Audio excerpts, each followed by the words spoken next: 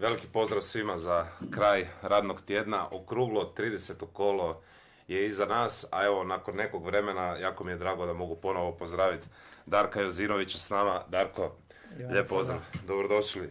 Jeste li se odmorili Ovoga, mislim, znam, znam, nije, nije provokacija, nego znam da ste bili na, na, na putu, sva, sva, što ste, sva što ste vidjeli, doživjeli, ali da li, da li su se malo dojmovi slegli od turbulentnog razdoblja u Bilom taboru? Dobro, Ivan, evo prvo pozdrav tebi i svim slušateljima i gledateljima podcasta. Pa, uglavnom, ajmo reći na prvu da se dosta dogodilo od zadnjeg vremena što se nismo vidjeli, jer prošli vikend nismo bili ovaj, zbog mojih obaveza nekih e, dogodilo su upravo one situacije neke koje smo govorili da će se dogoditi, jel, te neke utakmice koje će poka, polako, jel, e, rješavati e, borbu za titulu prvaka. Jedna momčad je nažalost ispala, moj Hajduk, ostali su Rijeka i Dinamo. Tako da, ovaj, što se toga tiče, ovaj, pa dobro, što se mene tiče, ja sam to doživio na jedan normalni način, možda nego neki, neki navijač ili neko ko, ko nije igrao nogomet, u svakom slučaju, ne, ne bih rekao razočaranje kod mene, ali u svakom slučaju jedan segment da nisam možda očekivao da će se to dogoditi u trećem mjesecu da će Hajduk ostati u borbi za tu titulu evo, do zadnjih kola, međutim dogodilo se što se dogodilo i sad u biti jednostavno na miru mogu gledati nastavak prvenstva.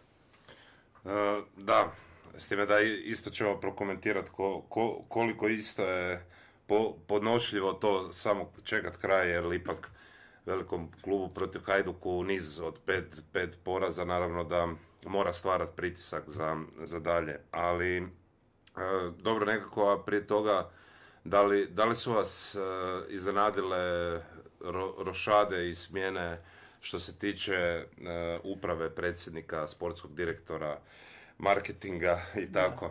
Pa dobro, dobro pitanje. Na mjesto što se kaže iznenadilo mi jesi samo u slučaju, nisu me iznenadile smjene odlaska trenera i sportskog direktora, ali me u svakom slučaju neugodno iznenadila smjena predsjednika kluba. Eh, jer smatram da ona apsolutno nije trebala doći. Naravno, mnogi će reći e, nema rezultata, pa onda mora i predsjednik svoj dio odgovornosti dati. Međutim, s obzirom na sve ovo što je predsjednik Kobušić stvorio zadnje dvije, tri godine za Hajduk, ovaj, ne mora značiti da ako ove godine nisi bio prvak, da i, i on ima odgovornost. On je svoj dio posla, mislim, bolje napravio nego trener i sportski direktor. E, napravio jedne temelje Hajduka za u budućnost s obzirom e, da, ih, da je on taj klub u biti preuzeo poslije korone 2020. čini 21. u sezoni da je bio negdje u pete, šesta pozicija, financijski bio nestabilan, organizacijski, igrački i u ove tri godine mogu reći da je podigao klub na jednu višu razinu i nisam očekivao smjeniju ovaj, predsjednika Kobušića, međutim ona se dogodila, ja bih rekao adakt ono preko koljena od članova nadzornog odbora, E, mislim da je ta odluka na brzinu došla, da se nije čekalo, što se kaže, da se prespava malo nož, da se vidi, jel, e, smjena, do smjena mora doći, mora neko odgovarati e, za ovaj neuspjeh, neuspjeh, jel, mada ja ne bi možda to ni tako govorio, jel, ovaj, ali dobro, tako da Jakubušić po meni nije odgovaran toliko da, bi, da je on morao da su morali dati otkaz, mislim da je on dosta dobrog napravio za Hajduk, stvorio dobre temelje za dalje. Da, a eto, bilo je, bilo je iskomunicirano na početku kada je Jakub Vušić smijenjen da će da će nasljednik se znat vrlo brzo, pa je procurilo ime Josipa Pavića, pa ipak zbog e, znanih okolnosti je se on e, sam zapravo povukao, e, pa eto, da li je, mislim, mnogi, mnogi raspravljaju oko, oko to, te, tog općenito pojma stabilnosti kluba. Mislim, jasno je da u Hajduku se zna ko, ko šta odlučuje, ko bi šta trebao odlučiti. E, međutim, opet sa svime time bi se reklo da se, se ušlo u neku krizu upravljanja jer činjenica da se predsjednika ovoga za sad nema na vidiku i sad eto e, samo možda ta perspektiva koja, je možda bila dobra na početku, kao imao bi neko vremena novi doći i, i pripremiti se za iduću sezonu, međutim nije li ipak nekako, recimo da je i odluka da je Jako Bušić odlazi, da li bi možda bilo da li bi možda ta tranzicija bila mirnija i lakša da je recimo i on ostao što ja mislim da je njemu i bila želja jer meni je bilo recimo dosta dobro kad je on nakon Rijeke rekao e sad ne idemo niko nigdje do kraja dok ne završimo posao uključujući trenera mene i sve što mi zapravo nekako bilo i, i e, pošteno. E, da, da li vi mislite da je taj prelazni period trebao ipak proći do novog da je, da je on ostao? Pa vratit ću se na ono što sam rekao. Mislim da je greška napravljena od članova nadzornog odbora ljudi koji su u biti njega razriješili. A znamo koji su to, pojavili su se dan, dva poslije uh, i obratili se javnosti uh, iz kojeg razloga oni mijenjaju Jakobušića. Međutim, ja kad sam slušao tu konferenciju za tisak, ja apsolutno nisam vidio ništa koji je glavni razlog zašto se Jakobušić mijenja. Jednostavno oni su uh, znate kako to je, e, poslije onih rezultata slabih i svega ispalo je kao da se nešto mora na brzinu napraviti, nekom se mora skinuti glava i u tom trenutku su oni odlučili, samo oni znaju zašto, da se Jako Bušić da mora otići, ne razmišljajući ništa i tu konferenciju sam ja gledao članova nadzornog odbora i apsolutno ja nisam vidio nikakvu viziju za dalje od njih. Jednostavno oni su to kao, to smo morali napraviti, pogotovo nisam vidio viziju ni kod da li je ona sada članica uprave ili predsjednica nadzornog odbora Vesna Akrap, jel, koja je isto u svojoj nekoj izjavi vidjela pa ja bih rekao i nedostatak znanja sportske strane, sa sportske strane, uh, jer ovaj, vidi se da nije dovoljno kompetentna, da je ona govoreći o novom treneru isto rekla da taj novi trener Jure Ivanković posjeduju tu odgovarajuću licencu, međutim na kraju se ispostavili da taj trener apsolutno nema odgovarajuću licencu, znači nije bila ni upoznata sa pozicijom ni trenera kojeg oni postavljaju poslije Karoglana, ni zašto mijenjaju Jakobušića. Hoću samo reći da jednostavno nisam siguran da, da znaju zašto su napravili neke stvari, članovi Narodnog odbora. Bilo je situacija da oni odmah imaju rješenje sa pa, Pavićem, jel, bivšim vaterpolistu. Na kraju se ispostavilo eh, da to nije bilo dobro rješenje i od toga ništa. I sad na kraju ti nemaš ni predsjednika, nemaš ni sportskog direktora, nemaš ni trenera, mislim da je Jure samo prelazno rješenje i sad si došao u situaciju da nemaš ništa, a u biti nešto moraš stvarati. Kažem opet, vratit ću se da mislim da se greška napravila kod smjene Jakobušića, da je to napravljeno ishistreno na brzinu, da je čovjek dosta dobrih stvari napravio, ne može se samo zbog nekog nerezultata, u ovom slučaju Hajduka, koji su svi mislili da Hajduk ove godine mora biti prvak. Ja ne znam zašto je Hajduk mora biti ove godine prvak, Dinamo ili Rijeka. Samo će jedna momčad biti prvak. E, taka se teza napravila u 10. 11. mjesecu, ti znaš kad smo mi ovdje pričali kad je Hajduk igrao dobro, kad je osvajao bodove, kad nije pravio toliki kikseva, pa sam ja slušao i raspravili smo mnogo ljudi, čak bi rekao i bivših igrača i navijača su već govorili u 11. mjesecu da će Hajduk biti prvak, a još puno ima da se igra. Znači, e, pa sada, ovaj, e, i da je to gotovo prvenstvo. Ne znam iz kojeg razloga Hajduk je bio veći ili manji kandidat za prvaka države. On je u jednom određenom trenutku bio kandidat kao i Dinamo i Rijeka i to zasluženo. Završio polusezonu na prvom mjestu zasluženo, igrao dobro. E, pojačao se druge sezone, međutim, znate kako je to prvenstvo? Prvenstvo države je jedan maraton, ja bih rekao. To nije trka na 100 metara i ti u biti u, tom, u toj trci na 42 km imaš uspona i padova. Tako je u nogometu prvenstvo znam iz svog iskustva. Imaš par dobrih rezultata, pa te loše krene, pa loše igraš i tako dalje i tako dalje. Jel? Hajduk je do polusezone izgledao dobro i vrlo dobro, međutim druga polusezona je bila katastrofalna. Tu, tu ne treba se skrivati ništa, tu ima svoju odgovornost i trener i igrač, a možda najmanje Jako Bušić. Međutim i onda na kraju kada se dogodi to što se dogodi nakon onih rezultata protiv Dinama o prvenstvu i kupu, normalno da to onda razočaranje navijača bude na entu i oni ne gledaju ništa drugo nego samo kome skinuti prvu glavu. U ovom slučaju mislim da je Kubušić ima svoju odgovornost, ali sigurno ne najveću, da bi se njega odmah trebalo skinuti.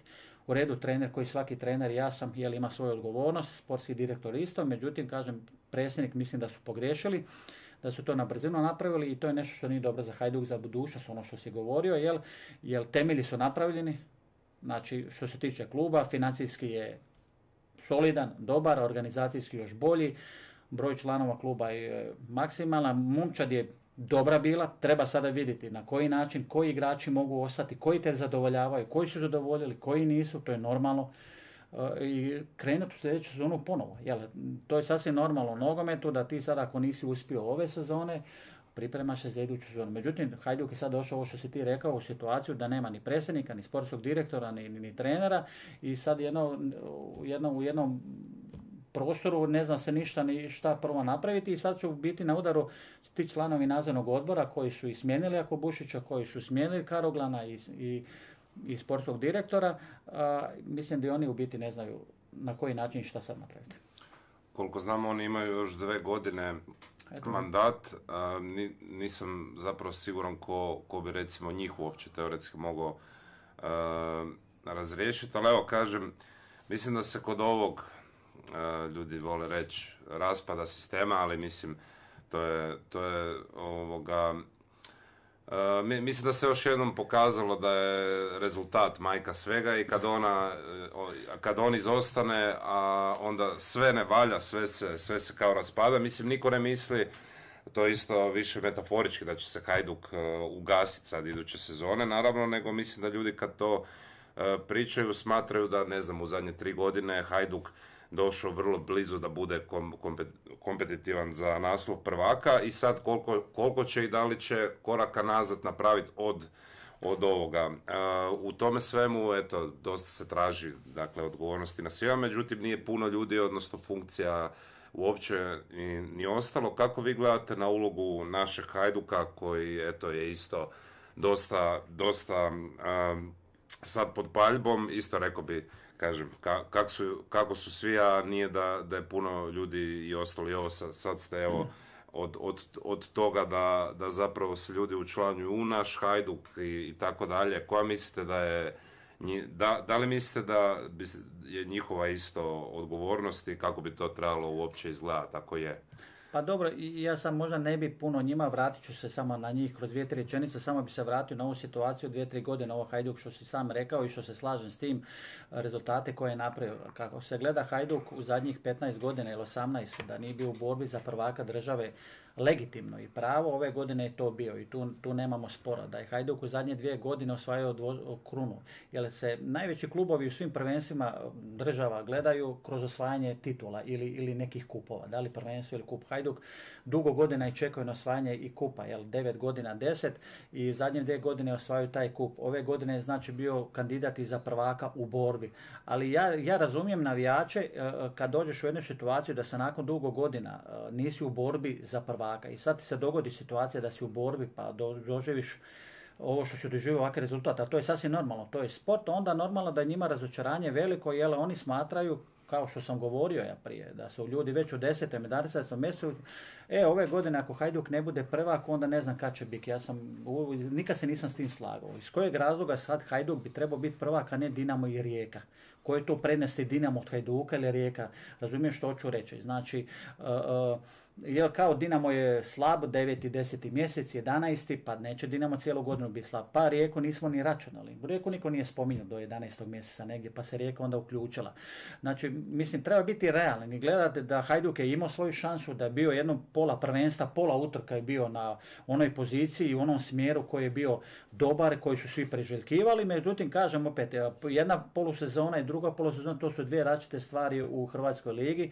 E, ti krećeš u biti od nule, ne bukvalno od nule, međutim imaš neku startnu poziciju dobru, ali sve to trebaš zaboraviti. I imaš sad početak drugog dijela sezone gdje trebaš potvrditi ovo što si završio prvo mjesto i nastaviti još bolje. Hajduk ti tu kiksao. Upravo ono što je najbitnije u svemu ovome, rezultatu. Znači rezultat je majka svega. To je jasno. Rudeže ovo kolo definitivno ispao i gotova priča više tako i matematički. Leverkusen je prvak Njemačke, šest kola prije kraja i tako dalje i tako dalje. Znači rezultat je majka svega.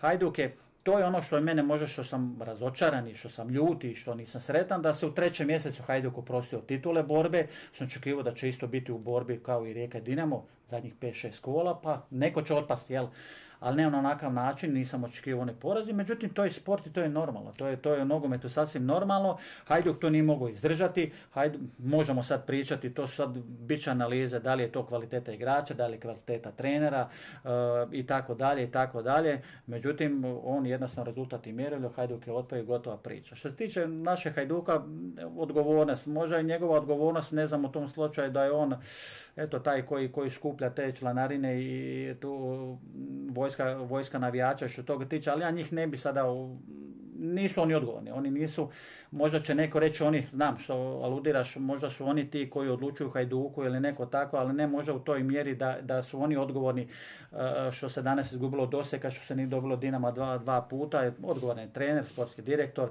predsjednik u svojem nekom segmentu, tako da ne bi ja vodio brigu o našem Hajduku, oni imaju uh, svoj cilj, svoj način rada, žele sigurno najbolje Hajduku, međutim oni nisu sigurno ti koji su, koji su odgovorni za ovaj rezultat. Dobro, eto, po, po, po prirodi ćemo, ćemo krenuti onda i sa tom utakmicom, pa, pa onda ćemo na, na ostale. Da, segment koji, koji nismo spomenuli, ali koji isto definitivan je da je ozljeda mnogo, bio sam rekao foru da nekad je bilo naše malo misto, sad naša mala klinika, glavna, glavni serijal u Splitu, iako dobro, imali su, Rijeka imala stvarno iznenađujuće malo problema sa ozljedama, premda eto, oba stopera s kojima su krenuli, Dilaver Mitrović su bili dugo, uh, dugo, dugo van pogona, pa su onda Radedić i Galešić ili ne, nestane bek, pa Bogojević uđe i riješi utakmice ali evo što se tiče napadačkog dijela možda glavnih igrača, osim Jankovića koja čini mi se dva kola propustio su bili ok. Dinamo je imao dve, dve godine. Ta, mo, činilo se možda kod dve godine, dva mjeseca bez, bez Brune. međutim, baš uh, i, do, i, dosta drugih igrača, po, znam da je u trenu ispadanja od Pauka, kad je bila vijest u Zagrebu čeka deset igrača na, na oporavak ali nekako opet se ipak najviše slomilo uh, kod Hajduka, dosta ozljeda je bilo mehanički gdje nema, nema šta reći. Uh, ne, kažem, mi, rekao, rekao bi da se, da se poglopilo, recite vi ako ne mislite. Pa to je jedan segment koji, dobro ti si sad rekao jednu stvar koja je isto bitna, ali nije to sada da kažem razlog zašto Hajduk, ali u svakom slučaju u tim nekim utakmicama kada Hajduk je morao imati najbolju momčad kao i Dinamo i Rijeka, imao je dosta problema s ozljedama. I jedni bitni igrači, sada ih nabrajam, po dva, tri, četiri u tim nekim utakmicama nisu bili na raspolaganju. U svakom slučaju što ne samo za Hajduk i za bilo koga, ovaj, eh, pa i Dinamo nema Petkovića, Baturinu ili ne znam Nevistić u ovom trenutku, sigurno bi E, dosta oslabio momčad. Tako i Hajduk u tim nekim utakmicama, nažalost, imaju problema sa ozljedama.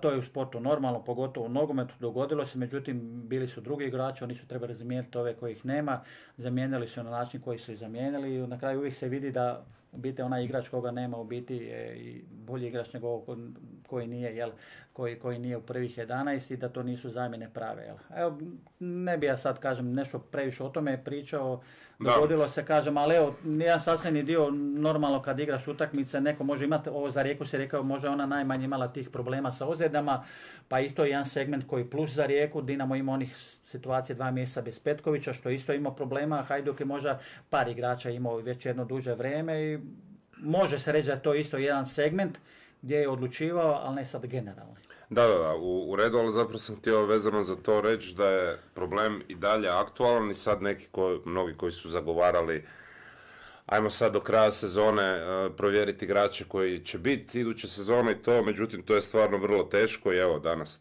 trener e, Janković, ovoga, e, Ivanković, pardon, znači ima, ima jednostavno skoro nemoguć zadatak gdje eto, znači doslovno ako gledamo evo, tri napadača, Klein Hešle, Trajkovski, Brekalo, sva trojica neće biti uh, skoro sigurno, Brekalo sigurno, a mislim da za ovu dvojicu Glaslo će se vratiti na posudbu. Uh, dalje od Gigi Ofoje, koji sigurno neće biti iduće godine.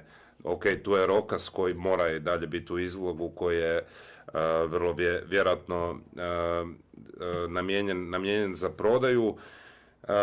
I sad eto, na a opet kad pogledaš klupu, imaš, imaš također igrače koji, koji su većinom ili obrambeni ili su isto, recimo poput Kalinića, vrlo neizvjesne budućnosti nakon ljeta. Pa evo, kažem, moje pitanje, ja bio sam rekao u startu, da svejedno koliko god bila situacija prvenstvo gotovo, klubu poput Hajduka se ipak porazi u nizu, koji god bio kontekst ne praštali i evo, jednostavno pitanje, šta, šta sad do, do kraja sezone, čemu, čemu težite? Nam što hoćeš pitati, ja ću odmah govoriti zašto se sad događaju ovi porazi. Meni su sasvim normalni.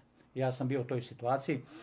Jednom kada nakon jedne situacije kad imaš se boriš za nešto, kad imaš za prvaka, ti u tako reći u 5-6 dana prospeš sve, poraz od Dinama u prvenstvu, pa poraz u kupu, pa sljedeći poraz u prvenstvu i onda izgubiš sve šanse i za oba dva, za ove dvije borbe za, za, za, za trofej. E, normalno da se kod igrača sad javlja, ne kažem ja da su sad oni u stanju da ne žele više igrati, da ali mate, motiv je sigurno nešto što, što je kod njih sigurno pao. Međutim, normalno, oni su profesionalci, oni su igrači Hajduka, velikog kluba i oni apsolutno moraju do kraja sezone uh, izvući sebe maksimum koliko je to u ovom trenutku uh, moguće.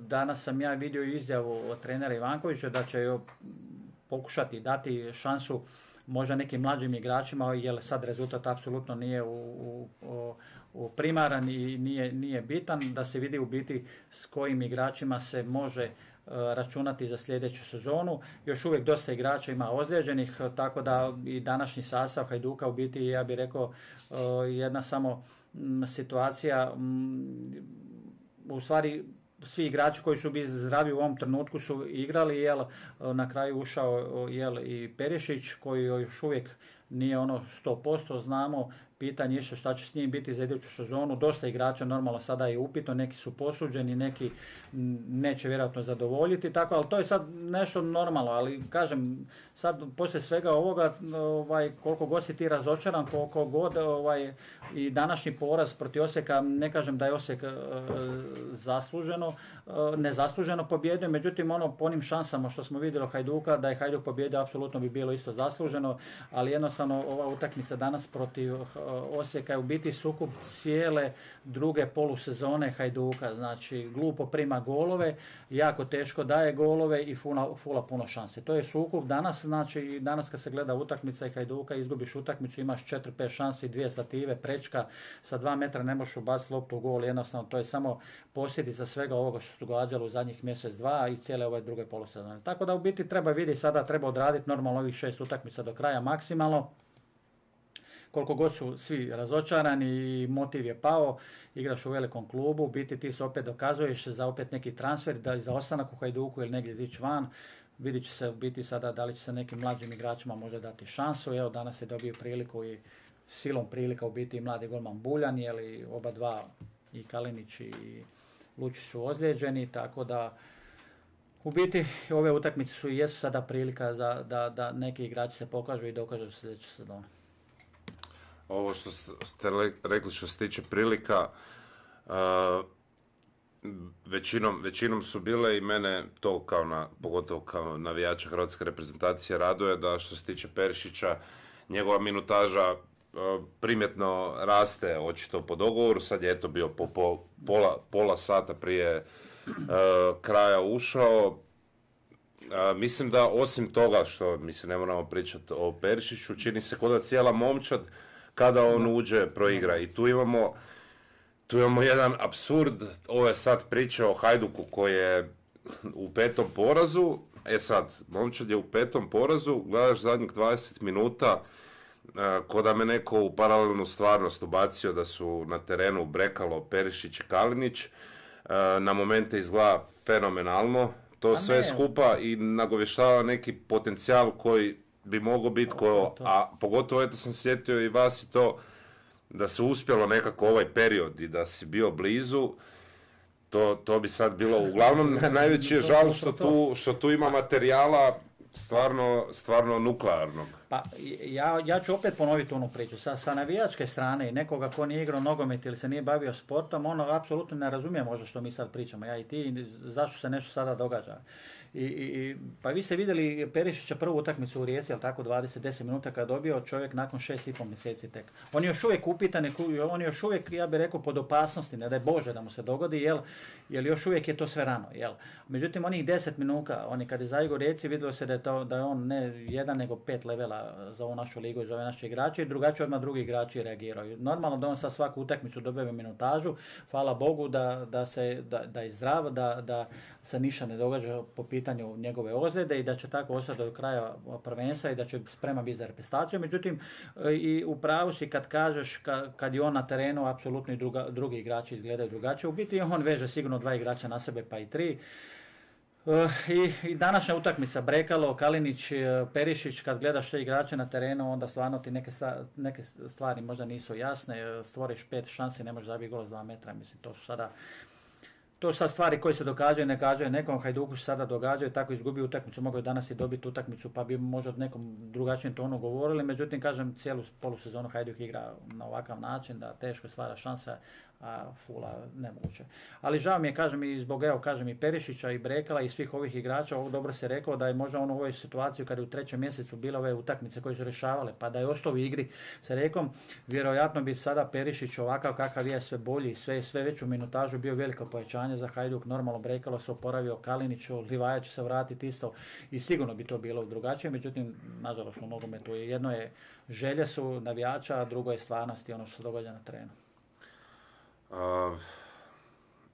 ovoga, i možda ironično, ironično da nakon dugog vremena s druge strane je kolo gdje je Osijek malo, eto, zna, znakovi života u zadnjih par kola je eto, preteko tu lokomotivu. Ja bi inače, pozdravio bi naravno sve gledatelje, pozdravio bi Rozarija, nisam ga vidio neko vrijeme.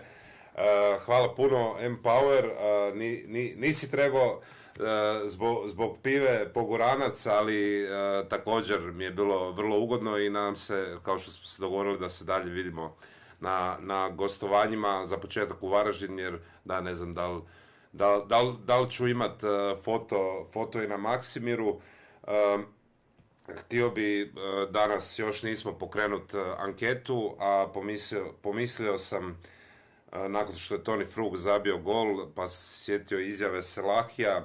Uglavnom, moje pitanje za anketu prognoza vama, MVP prvenstva će biti, u ponudi sam stavio trojicu, da je za Hajduk povoljnija situacija, odnosno da je zdrav Marko Livaja, stavio bi njega, međutim, po, po, pošto, ga, pošto ga nema, na, na tri sam se igrača odlučio, iz Rijeke Toni Fruk, iz Osijeka Mjerez i iz Dinama Bruno Petković. To, u redu, to su i tri igrača koji su po zbroju golova i asistencija također u vrhu, a i osim Levaja što se tiče ocjena. Pa dobro, što se tiče Levaja u pravu si, što se tiče uh, Petkovića i Fruko su pogotovo pravo jer to su klubovi igrači čiji se klubovi bore da prvenstvo. Mislim da će između njih, ako se već Fruka stavio, što se tiče Petkovića, meni isto slaže Fruk isto, mada u Rijeci ima još možda jednog, dva igraka, da se stavi ne bi pogrešio u redu Fruk zbog svojih asistencija i golova, u svakom slučaju nisi, a Mjerez možda isto s te strane što je sad je trenutno prvi strelac e, lige. To, I drugi asistent. Drugi asistent, međutim, moje mišljenje da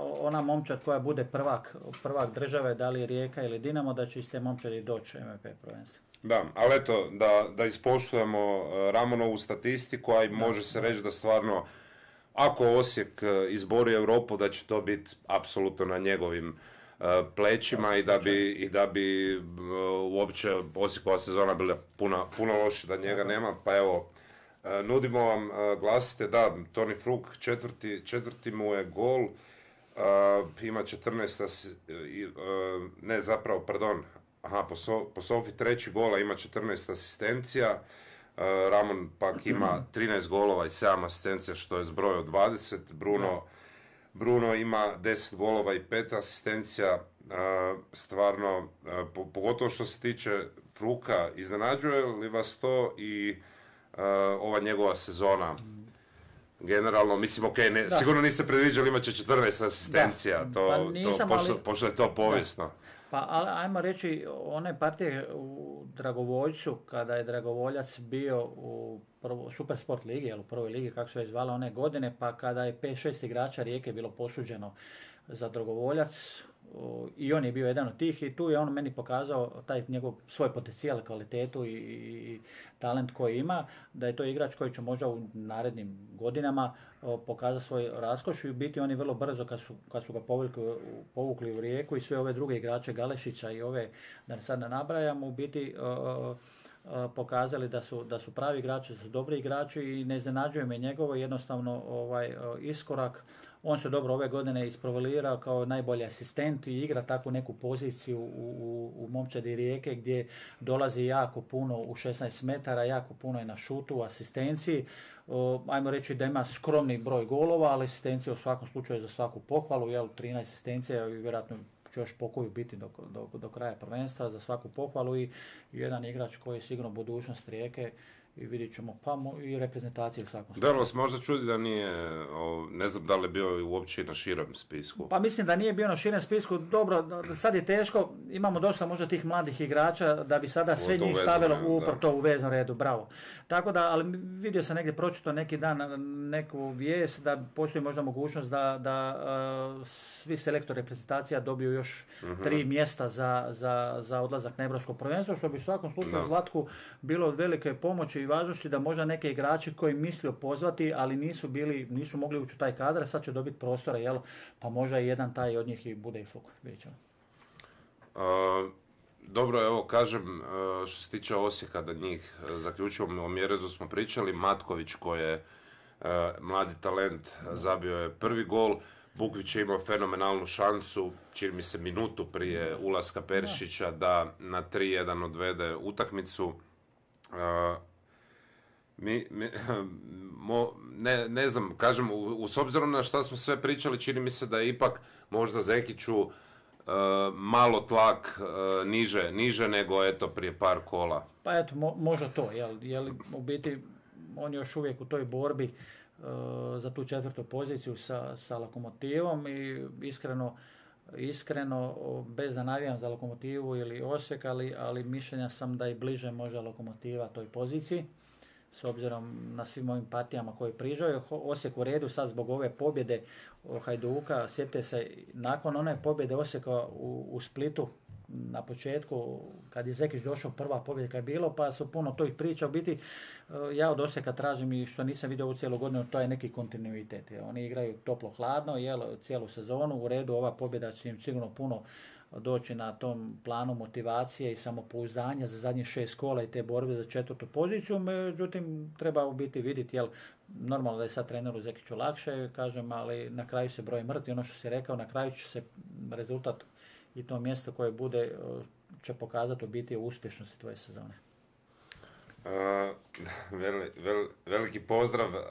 da, Denis možda je uleti na kanal da, da li on, je li imao Denis sad live? Ima, ima, sa s Marko Topić i Branko Lađević. Top, pozdrav, pozdrav veliki za Denisa i Denis podcast.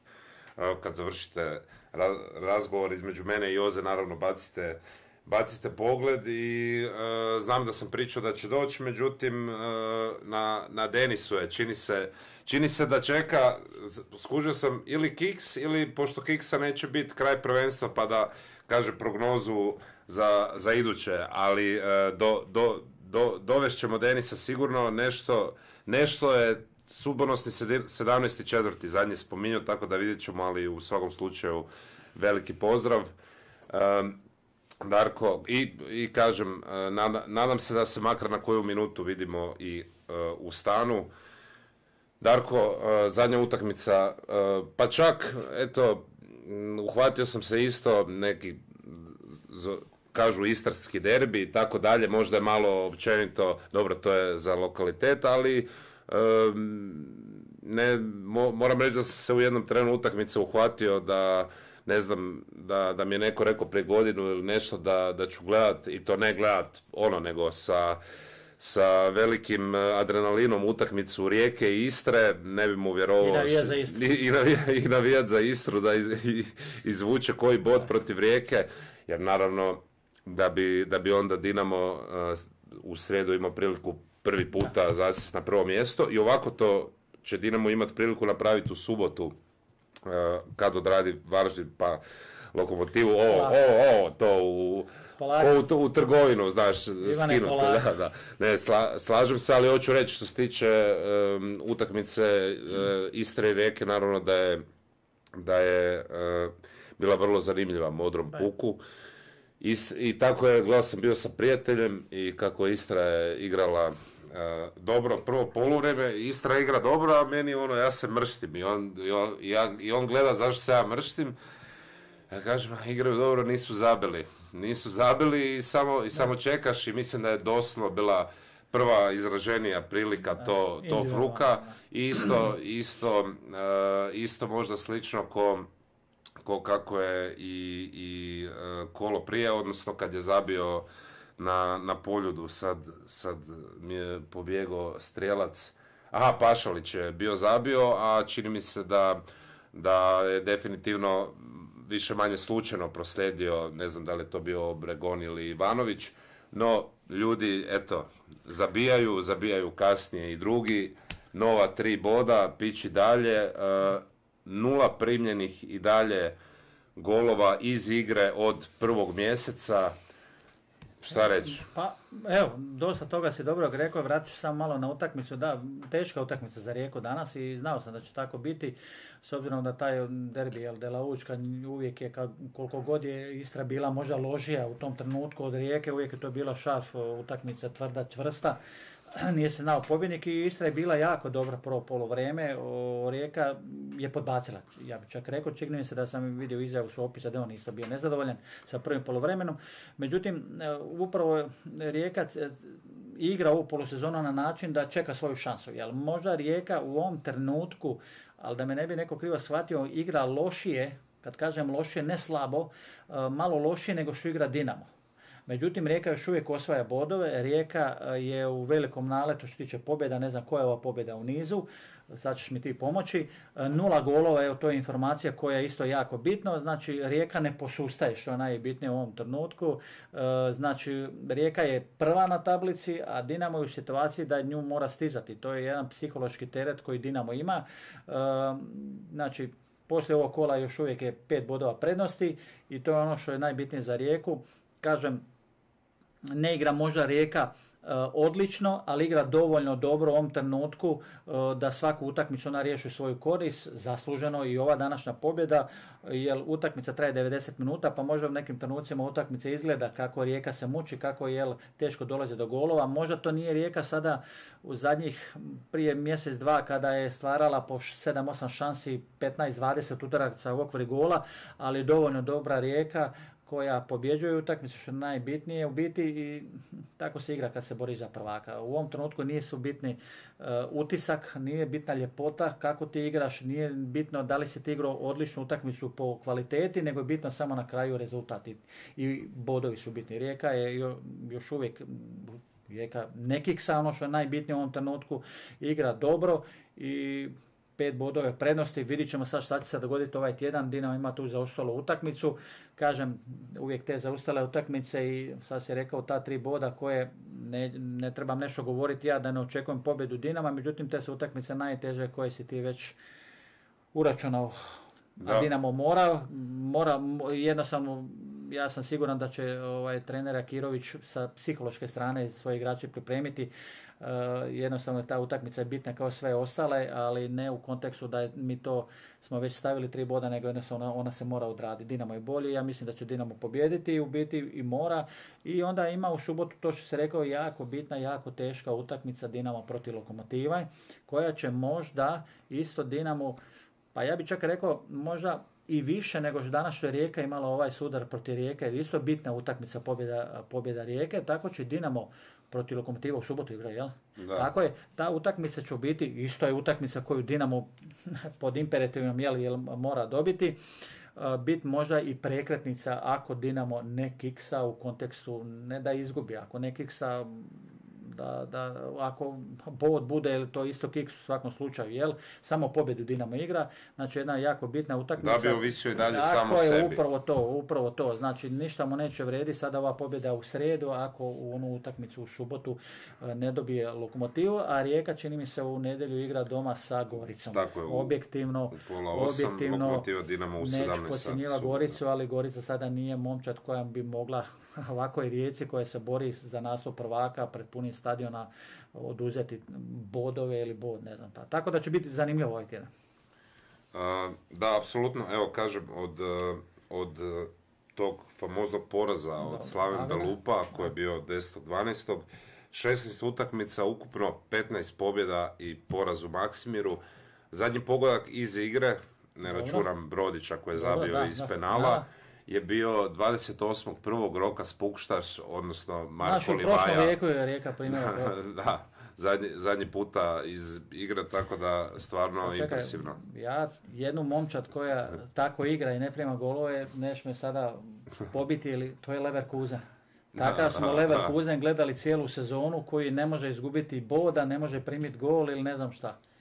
Mislim, znaš na šta aludiram, jel? S time da dobro, ali Leverkusen je imao dosta preokreta, evo, možda bi tu neko... Dobro, tako, ali isto imao taj niz, evo, stvarno, ovo, ovo je za pohvalu, koliko god neko misli sada da, da, da je Dinamo, kažem, ali evo, moje mišljenje isto, možda u ovom trenutku Dinamo igra nešto bolje i igra stvarno dobro, to sam komunicirao i sad sa Sergojom, malo jučer ili prekuće, stvarno zadnjih pet utakmica Dinamo igra jako dobro, e, ono što je za Dinamo dobro... Isto to, prima malo golova zapravo. Upravo to standardizirala se obrana, ja sam pričao to tebi prije možda mjesec dana ili dva, da Dinamo više nema lutanja, to jest nema lutanja, trener obrane se mora znati u dva ujutro, nema više mijenjanja i Dinamo je to standardizirao. Tako je. E, Dinamo, igrači neki koji nisu bili u Fordu su vratili, neki igrači koji su dobili šansu su iskoristili svoju šansu, Kulenović još ne znam, neki Vidović se vraća, znači širina te igračkog kada igrača koji, su, koji dobro igraju. Dinamo su sada sve širi i širi i to je ono što je sigurno dobro za Dinamo. Kažem, taj jedan minus za Dinamo što ima, što svoje utakmice koje dobije možda nije dobio onom razlikom što smo vidjeli na terenu, pa kao i ova sad utakmica protiv Gorice. Mislim, rezultat s obzirom je jedan je ok, normalan, 2-0, jedna dobra i zadovoljavajuća pobjeda, ali s obzirom da je ono što smo vidjeli od Dinama i one šanse da je bilo možda za 2-3 gola više i to je ono možda Dinamo zadnjih 4 Što se nešto ponavlja. Tako je, ti, e, puno se stvara šansi, ali još se ne zabija možda onako što bi rezultat možda trebao biti i veći za ono što je Dinamo prikazuje na terenu. Tako da Dinamo možda u ovom trenutku igra nešto bolje, nešto lepršavije od Rijeke. Rijeka ne igra loše, negdje sam pročitao u nekom podcastu ili čak ću reći, ajde indeks mogu reći, pa vidim taj novinar što piše, stvarno je neznalica, pojma nema, da ga ne imenom, kako Rijeka igra slabo, Mislim, kako možeš to reći da Rijeka igra slabo? Sad si rekao evo statistiku, kako se statistike samo određuješ. Mislim da Rijeka igra dobro, ne treba ona igrati odlično, igra se za bodove, 1-0 ili 3-0, isto 3 boda i tako, mislim, to su gluposti kad čitam neke, neke novinare koji pišu to, to stvarno ne mogu vjerovati svašta, ali u svakom slučaju kažem opet, ovaj, Dinamo je sad na potezu, Dinamo čeka grešku Rijeke, jel, ali ovaj tjedan za Dinamo će biti dosta intenzivan i dosta bitan. Jel? Apsolutno, da. I zgodan je bio transparent Bojsa jučer, 74. odaberi Dinamo, mm, naravno poziv, poziv za sve da, da, da stignu na Maksimir na podršku. Ono što mi je drago je što ovakvi pozivi zapravo su bili onako početkom sezone ko ono ljudi dajte molim vas dođite, sad već nekako je i Dinamo ajmo reći u modi u pozitivnom smislu i koliko sam vidio statistiku da je rekord posjećenosti Gorice jučer skinut nakon što je i Krančevićeve i nekako ta cijela klima i navijači se definitivno u Zagrebu bude. Jučer je bilo što se tiče navijača Znači simultano skandiranje zapada i istoka koje bilo je toliko spontano i nekako bolje, bolje čak nego kad je na Maksimiru sjever i, za, i zapad, ne, ne, ne, naravno ne uspoređujem za bivši istok i nekakva sinergija se stvarno, stvarno osjeća u modrom puku. Ali Ivane, to, to je sasvim normalno. Znači, kako se približava prvenstvo kraju i ljudi vide koji prate Dinamo svoj klub, Rijeka svoj klub, ja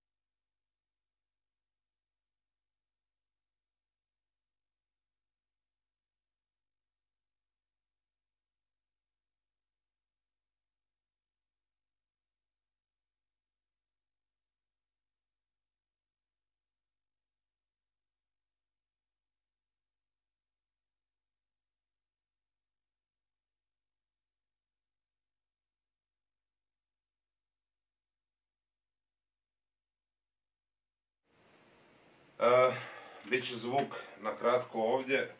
Htio sam se zaletiti po, po, po kamere, po, po bateriju dole, ali sam se sjetio da je nedjelja koja je eto uh, neradna. Uh, međutim, zmiksat ću ne znam šta se, šta se zadnje zapravo čulo, ali bili smo debatirali o formacijama, pa evo, Darko dok ja nađem možda koju bateriju, kako komentirate novu formaciju Dinama i definitivno se može reći da sad kad Jakirović ipak nema taj mač nad glavom u svakoj minuti i gdje on po meni nekako sve više ipak implementira neke svoje ideje i mora se reći što se tiče čiste igre izgleda, izgleda stvarno sve, sve bolje za Dinamo. Pa dobro, što se tiče sustava igra, nije to ništa neobično, jer on, mislim da je Sergej govorio u nekim utakmicama prije da, da će možda neke utakmice igrati u sustavu sa tri igrača iza. Dinamo to može igrati, Dinamo ima taj takav profil igrača da jednostavno može, ima, ima stopere i Benaua i i Teofila i Perkovića koji to mogu pokriti u jednom trenutku i, i Ristovski, tako da bočne igrače koji mogu to ponavljati, vezne igrače koji se mogu pridodavati u završnicu, tako da i to je jedan plus što je ovaj, Sergej dobio u svakom slučaju. Sada više Dinamo nema u završnici samo Petković, iako nije bio ona prava devetka, nego sada tu devetku biti je prava Kulenović, a Petković sada ima više prostora da dolazi u sredinu, da prilazi po tu loptu i da, da razigrava, zato je Dinamo zato u biti stvara dosta tih šansi, jer kažem, nema više da, nema devetke u 16 metara, dosta igrača i završavaju te akcije, a opet e, Dinamo je i dovoljno čvrst i stabilan iza sa ovom trojkom e, da nema nikakvih problema što se tiče organizacije igre u fazi obrane, tako da to je jedan plus koji, koji ovaj, Dinamo ima, tako da u biti ovaj, vidjet ćemo sad da li će e, trener Jakirović to koristiti ovaj, dalje ovim sljedećim utakmicama. U svakom slučaju ovo što su do sad oni igrali o, sa tri igrača igra pokazalo se kao dobro i pa, za vjerovati da će, da će vjerojatno to igrati i dalje. Evo, našao sam materiju, da će biti sve u redu. A ovo je, a Naglić zove, ja mislio da se nešto krivo rekao u reklamaciji uh, za, za, za Vloglića, on da, ja, a ja ga napadam. Naglić. Evo. Nisam nešto dobro stavio. Uh, stvari toga da sam toliko na mobitelu bio u zadnje vrijeme da nisam dugo ni gledao. Jesu prazni. Da.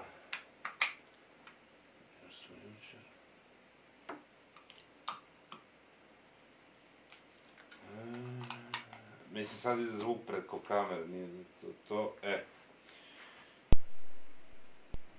Dobro. Dobro je.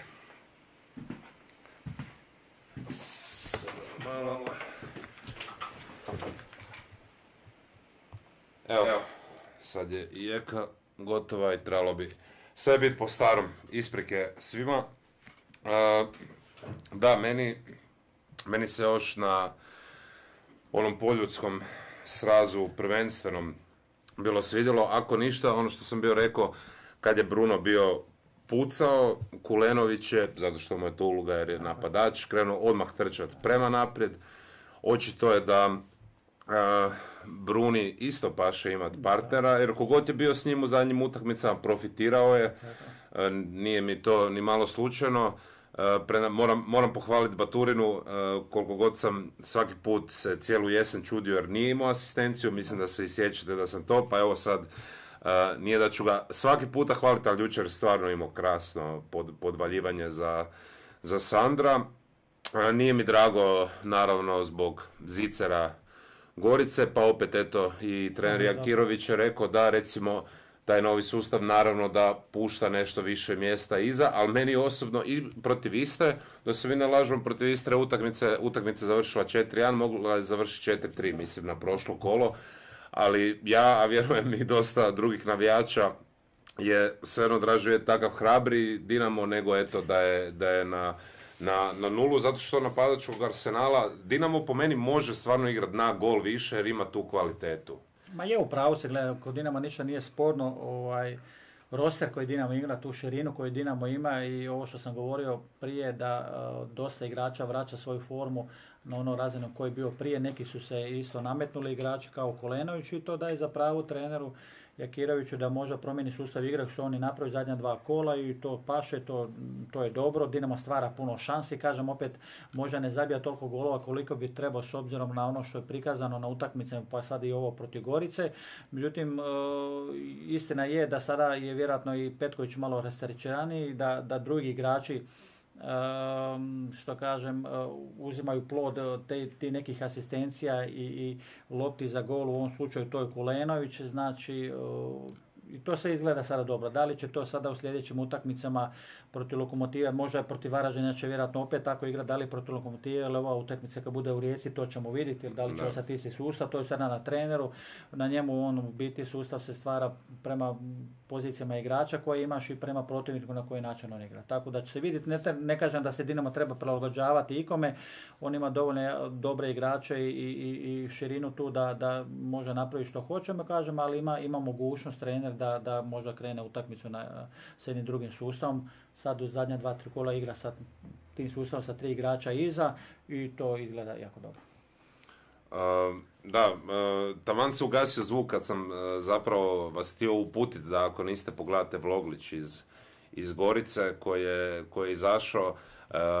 fenomenalan posao još jednom Naglića i drago mi je stvarno da se, da se intenzivirao i bilo mi je osobno isto dosta drago i jer smo zadnji put kad smo išli u Goricu prije točno godinu dana, jedan jedan je završila utakmica, Ante Čačić je još bio trener, to je tada bilo, vjerovali ili ne, moje prvo HNL gostovanje uh, Dinama. Na, da, ne, ne, ne, ne općenito. Općenito. I, I, ovoga, a evo, od tad smo preko, preko Vloglića prošli stvarno dosta i sad mi se zapravo čini čudno da je samo godinu dana prošlo.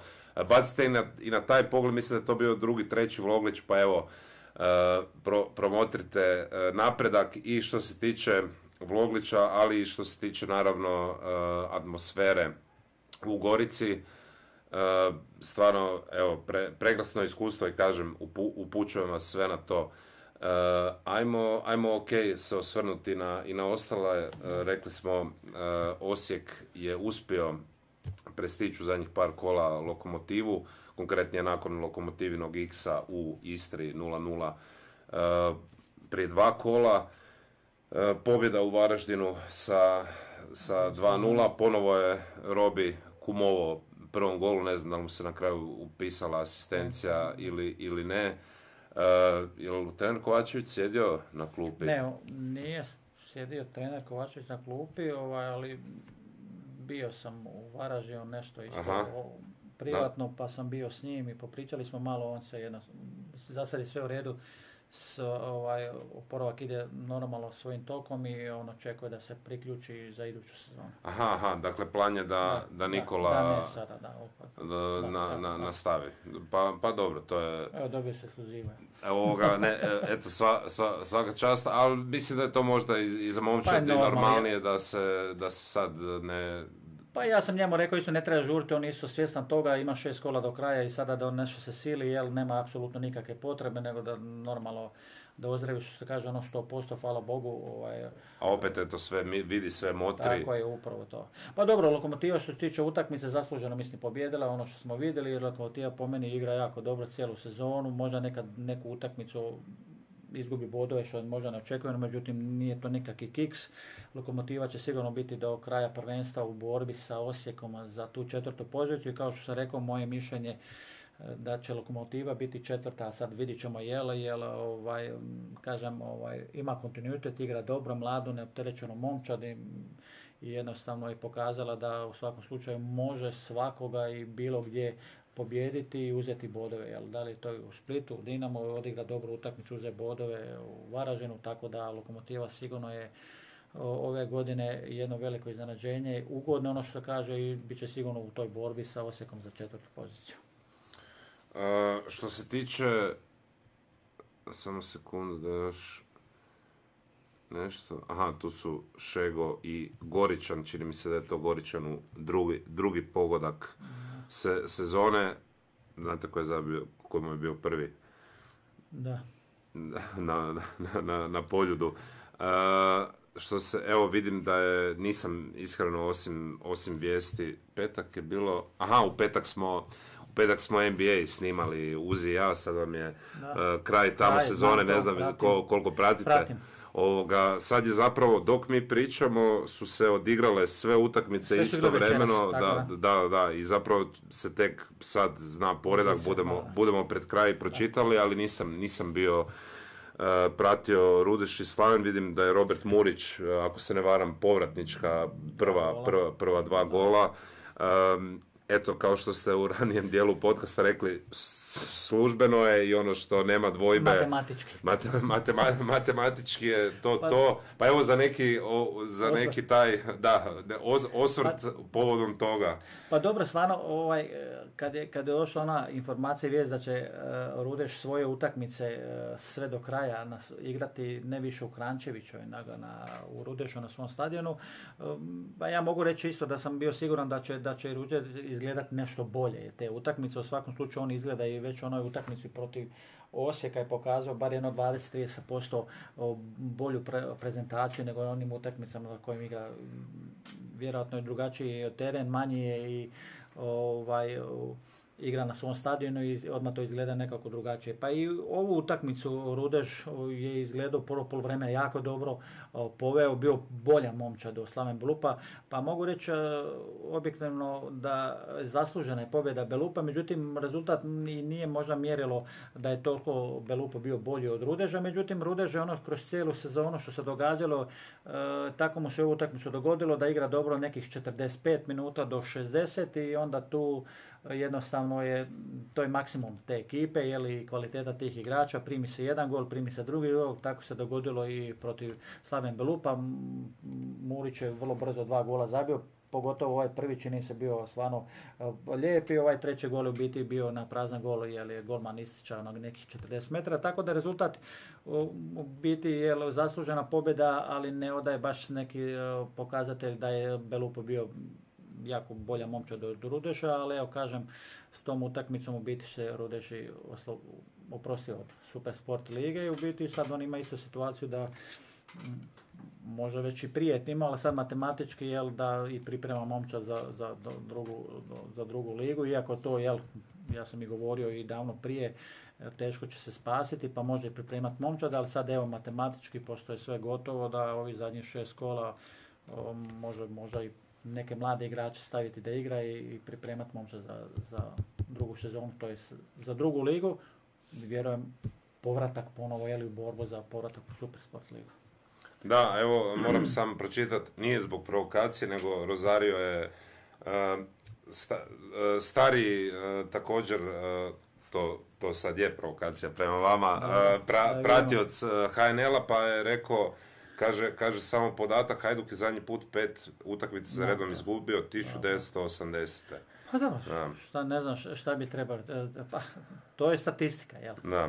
Pa, to je statistika, može, a. Sad je, ko je, ko je uopće iduća utakmica Hajduka? Sljedeća utakmica Hajduk ide Slaven Belupu.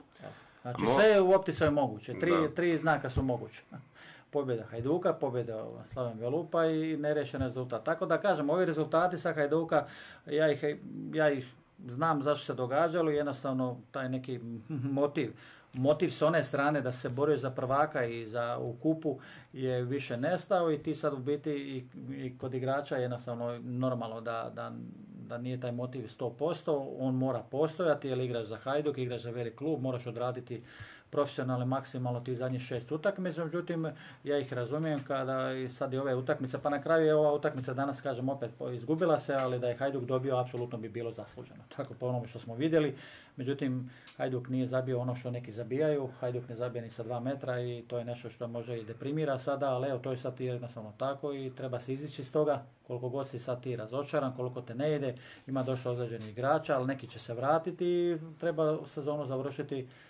normalnije, ja govorim o jednom, jednom pozitivnijem tomu što se tiče rezultata. Da, inače, Rosario što se tiče uh, pice i oklade za, za naslov prvaka, evo, bi, bit će prilike, nadam se da ćemo petog petog biti na Rujevici, da ćemo dobiti i akreditacije, tako da, evo, bi, bi, bit će prilika htio sam zapravo još jednu stvar pitat vezano za utakmicu Hajduk Osijek, odnosno generalno stara, stara tema, sumnjam da ćemo sad nešto, neki pametniji način naći, ali generalno oblik kazne da se, da se e, prazne tribine.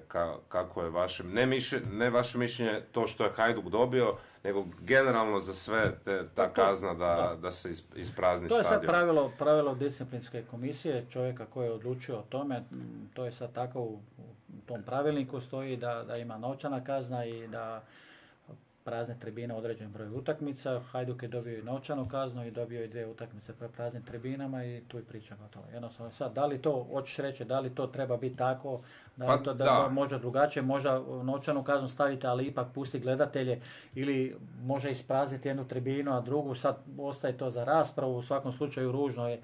Ili bar, znate šta, meni je, meni je najbolje ono rješenje da se e, dozvoli djeca ako je to, pa kao da idu djeca i da je pa bar dobro, neko, nije ni to rješenje, kažem, nije loše, jel, ono što kažem, ali evo, to sad treba za budućnost vidjeti da li, je, da li je to dobro, ali u svakom slučaju sad su pravila takva i gotova priča, to nema šta pričati. A druga isto, dobro, zapravo još za Hajduk kada isteknu te dve utakmice kazne, bit će vrlo zanimljivo i ja sam razmišljao, eto, jer eh, bio sam se stvarno stavljao u, u suprotnu poziciju i smatram da bi Hajdukovi navijači trebali maksimalno napuniti poljud kad bude, zbog baš podrške da je ovo teško e. Eh, razdoblje. Očekujete li da će, da će to tako biti? E. Mislim, poljud sigurno neće biti prazan. Dobro. Ajmo sad ovako stvari priču i sad normalno, sad će ti biti onih navijača koji će iz svog protesta, iz razočaranja i svega to što se dogodilo, normalno neće dolaziti, imat će oni koji će dolaziti. Ja u biti, i gledajte, Normalno da neće možda biti sad stadion pun 30 tisuća, vjerojatno neće biti, ali u svakom slučaju bit će ljudi koji će htjeti doći pogledati Hajduk i to. Pa gledaj, mislim, treba staviti točku na to, koliko god si ti sad u ovom trenutku razočaran. Ja razumijem s jedne strane, ali s ove se igračke, koji igrač koji sam bio i koji sam eto osvojio prvenstvo i bio u toj situaciji, e,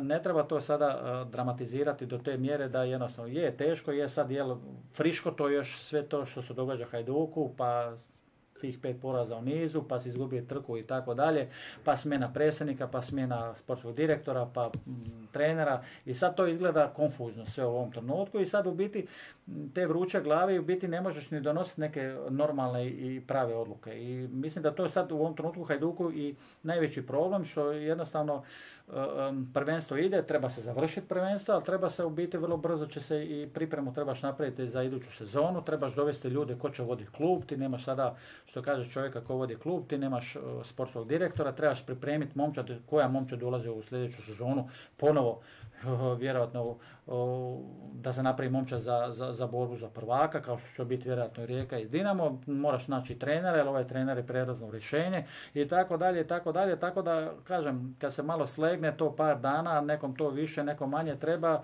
e, treba trezveno razmišljati i jednostavno to je tako u sportu, ima se neke ciljeve, ti ciljevi nisu ispunjeni, razočaran se, ali to je tako, to je sport i to treba tako prihvatiti.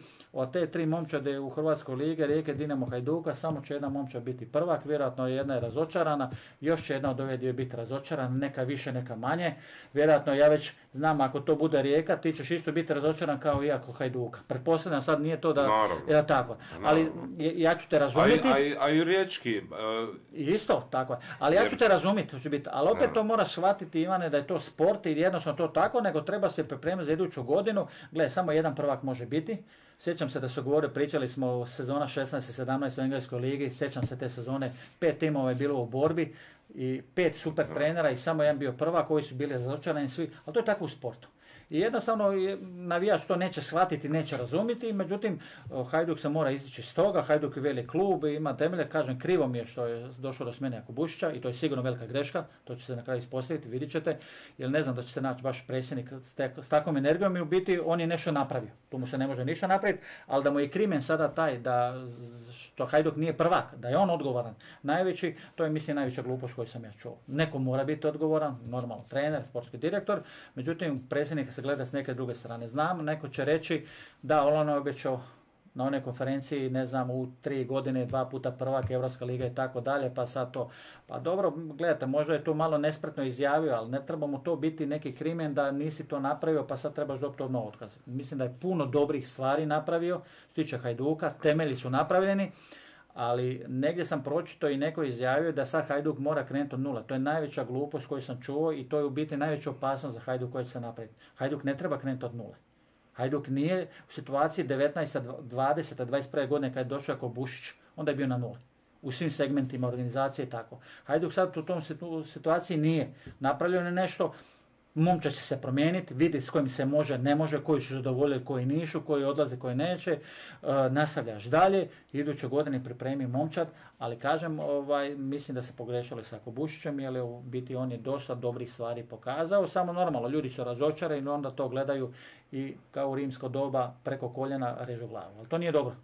Da, ne, slažem se, evo reći ću, ja sam čak, to, ne, to nije bilo u tom planu, nego je za, u jednom intervjuu za večernji bio Jako Bušić čak izjavio da on neće biti uh, skroz zadovoljan kad odu da samo sam stvori naslov prvaka. Još rekao, napišite da sam lud, ali želim europski trofej u Hajduku. I sad, što se tiče tih najava i to. Ali meni je opet, evo, meni je... Uh, pa, Ivan, to... Pa šta je on sad trebao izjavljivati? Pa ne, meni, meni to nije problem. Zato Tako, što upravo to. E, meni, je veći, meni je veći bio problem kad je, ne znam, smo izvukli pauk i onda sad Zajac kaže u Grci su ne, kao nezgodni, bit će ovo ja, ja zapravo jesam za to. Šta je treba doći reći? Pa bit ćemo u najboljem Gledajte, slučaju drugi. Možda za jedno 5-6 godina ćemo se boriti. Bi, da, ali, ali plus bi rekao u, u oba slučaja šta god je rekao, on je, ne može se reći, iako po meni, ali to je već dokumentirano nekad i malo i, i po, potezima e, ispod pojasa, ali po meni on je e,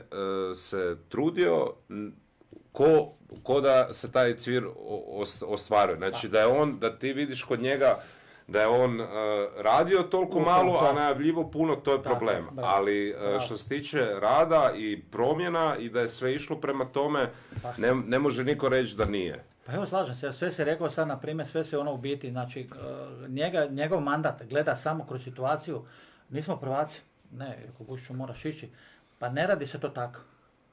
Mislim, on ima svoju odgovornost, ali ne mora znači da ništa nije valjalo u ovoj sezoni. U redu, trener odgovara za rezultat.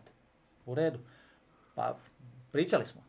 Da li će Jakovirović ostati ili otići ako osvoji prvenstvo ili ne. Pa si, jel? Da, ili će biti heroj ili tako, I, ali ako ne osvoji prvenstvo, pa zašto nije mogućnost da i ostane dalje bu trener Dinamo? Da. Mislim, kad malo se slegnu, ja sad govorim, jel, hoću ti objasniti nešto. U redu, sportski direktor je odgovoran za dovođenje igrača, s nekima se pogodilo, nekima nije. Sve to u redu. Pa to je tako u nogometu. To je tako u nogometu. Predsjednik ima svoju neku odgovornost i upravo ovo što si govorio. Za stabilizaciju kluba, financijski, organizacijski. na kraju krajeva osvojili se te neke dvije titule, isto i tako dalje, dovođenje tih igrača i sve. Pa znači neke stvari je napravio možda bolje nego što je napravio sportski direktor i trener ali prvi platio glavom. Je li je to neko odlučio preko noći? Nadzorni odbor, koji je sigurno pogriješio. To je sigurno pogriješio jer nisu imali rješenje. Drugi dan se pojavila rješenje sa Pavićem, na kraju se vidjelo da to nije dobro rješenje, i oni, ali to je tako kad donosiš odluke preko noći. Kada i donose odluke ljudi, moram reći, koji nisu u sportu. Oni jesu gospodarstvenici, oni jesu možda ljudi koji su radili u nekim branšama ekonomije i tako dalje, ali nogometni klub je nogometni klub, to je sportski kolektiv i ti jednostavno moraš vidjeti tog čovjeka, ne smiješ gledati kao nekog ko vodi tvornicu, nego to je sportski kolektiv. U redu, on nije sad otvorio prvenstvo ove godine, prošao je kup, prešao opet kup, znači nešto je napravio ovo što si rekao tri godine.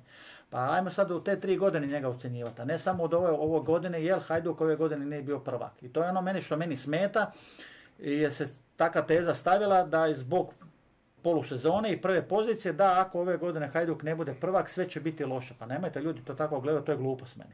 Apsolutno, isto će se dogoditi Dinamo Rijeci.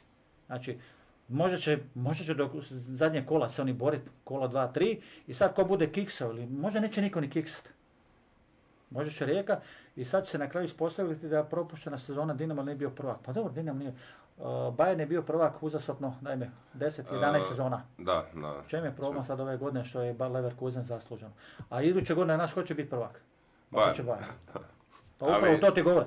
Znate, zašto se dramatizira jedna godina? Ove godine imamo tri momčadi.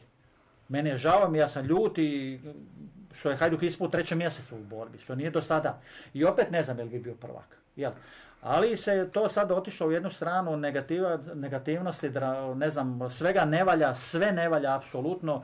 Ti više nemaš nijednog igrača koji valja, ti ne znaš u klubu više iko da valja. Čekajte ljudi, prespavaj malo, nemoj ništa donositi odluke neke preko noći, ali bojim se da ljudi koji će morati donijeti odluke, to je taj članovi nadzornog odbora koji su se pojavili, e sad na njima je odgovornost isto, da oni dovedu predsjednika, da dovedu ovaj, sportskog direktora koji će taj isto dovesti trenera sa, u suradnji sa predsjednikom i tako dalje. A vremena nemaš puno. Jel? I sad kretat, ono što sam rekao od nule, to je najveća glupost koju sam čuo. Ne, pa ne treba se kretati od nula. Imaš neke temelje, sad zbog neosvajanja prvenstva to ne znači da si sve krivo radio devet mjeseci. Ili tri i pol godine. Ili tri i pol godine, bravo. Um, a evo, što se tiče Dinama, mislim, generalno, ako bi Rijeka uspjela, recimo, teoretski da pričamo, Dinamo i Rijeka sve dobe i međusobni ogled završi remi, Tako. a ko ima, ko ima šta reći? Ruka, ruka, ruci, da. Ali vidit ćeš koliko će biti, pričat ćemo, bit ćemo tu, jel, analizirat ćemo, pa će vjerojatno isto biti dosta velika veličina koji će biti nezadovoljan, može i s Terijama a može sa predsjednikom Zajicom, mislim. Hoće njegove biti odgovornost.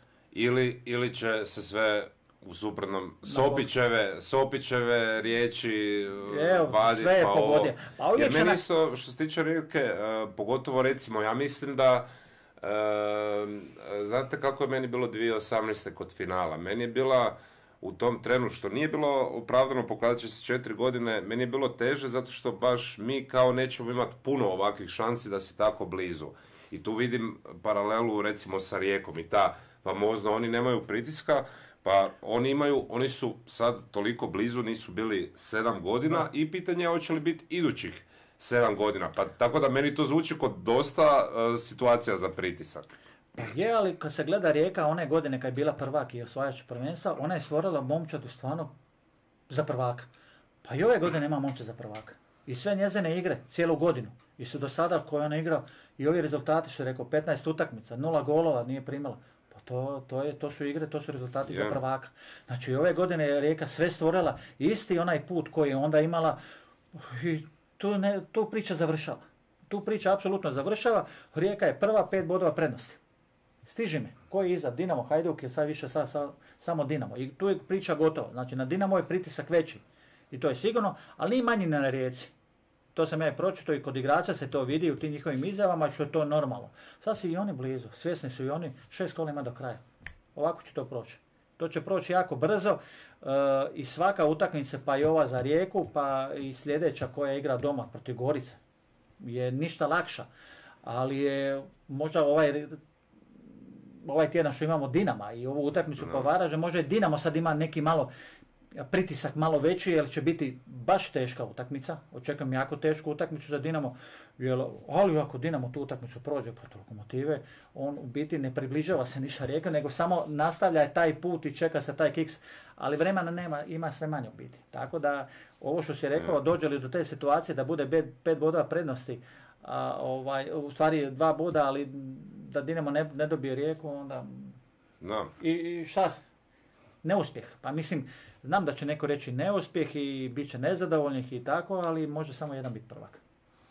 Uh, da, i evo, uh, da samo, da, uh, htio sam reći isto, ako, zato je stvarno ogromna ta utakmica i cijelo vrijeme ju potenciramo, ono što je pozitivno je što do kraja prvenstva, i to je Jakirović istaknuo isto, Dinamo igra zapravo subota i nedjelja. I onda kažem, polako, ali što se tiče Rijeke neće biti ista situacija, na primjer, da u nedjelju Dinamo je zapravo prvi. Ti se budiš u nedjelju, prvi puta nisi prvi na tablici nakon dugo i sad igraš utakmicu protiv Gorice.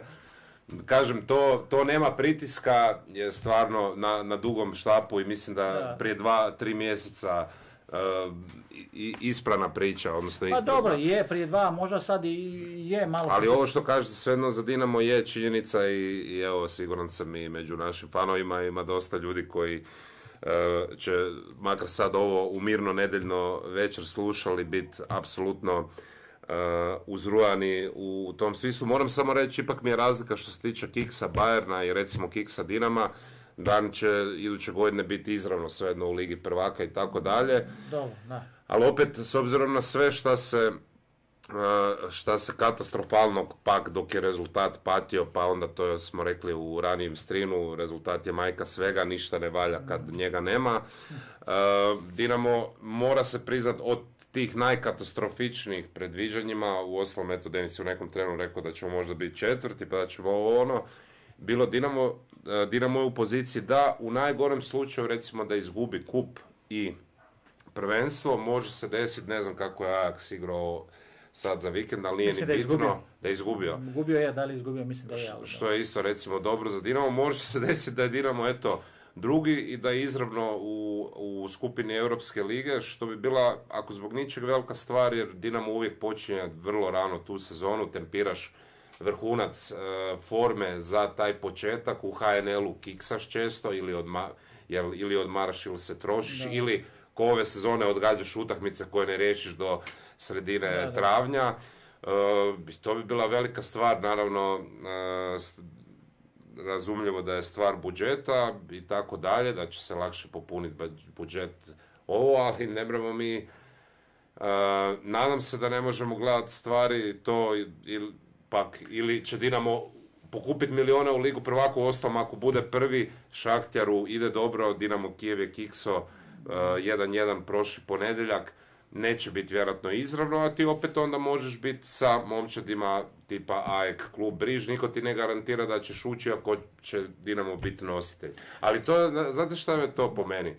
Ljudi su cijelo iz mojeg uh, modrog, modrog tabora. Ljudi su, na, da, ne, ali uh, kao šta, šta se dešavalo među našim navijačima, ja bih rekao. Svi smo u jednom trenu već oplakivali ovu sezonu i sve katastrofe jer će ova sezona. E, ali sad su se pojavile tvrdnje i to da a dobro, mi možemo biti prvaci, možda ćemo biti prvaci, ali šta ćemo na ljeto? Ali čemu to? Pa da, ajmo, što kažete, ajmo korak po korak. Pa upravo. Šta sad? I onda neko, ali sad će biti sve dobro, možda ćemo ići u Ligu prvaka, ali za pet godina ćemo ne znam, stvarno, stvarno ne vidim smisao u tome. Pa, upravo to na početku emisije kad sam govorio, da se neko ne naljoti ne misli navijački način gledanja rezultata, dobrih igara, propale sezone je upravo ovo sad što si ti rekao. Pa Dinamo se može dogoditi da osvoji prvenstvo i kupi, se može dogoditi. Da. Pa može se. Može dogoditi da osvoji možda prvenstvo, a izgubi u kupu. Ili obrnuto. A može se dogoditi da jedno drugo izgubi. To bi možda bilo razočaranje. Tu si, ali to se može dogoditi. I jednostavno sve su opcije sada otvorene. Ali sada ovo što si rekao, gledati sad unapred, joj, ako budemo pa nećemo tamo ući. E, mi, ja sam siguran i znam kako Sergej razmišlja i svi treneri, pa i Sopić vjerojatno. E, pa ne razmišljam uopće u sljedećoj utakmici. Ja sljedeću za dva tjedna, što se govori Rijeka, ne sljedeća prva utakmica. Šta će se dogoditi? Koji ćemo i pitanje uopće, hoćemo išta osvojiti i da li ćemo i išao ući. To se opet mora poklopiti ovo što se rekao, ako je Ajax, ako je Šaktor i tako dalje. Ali to su sad, to je daleko, to je future, to je budućnost neka koja je apsolutno glupo sada uopće pričati. Znači ti imaš sad situaciju da si u borbi za prvaka, u borbi za još jedan titulu kupa, osvajača kupa, sve možeš uzeti, ali sve možeš izgubiti. Možeš na 50-50 Znači i ti u biti ni ne znaš u biti gdje ćeš sezonu završiti i kako ćeš početi u biti, jel?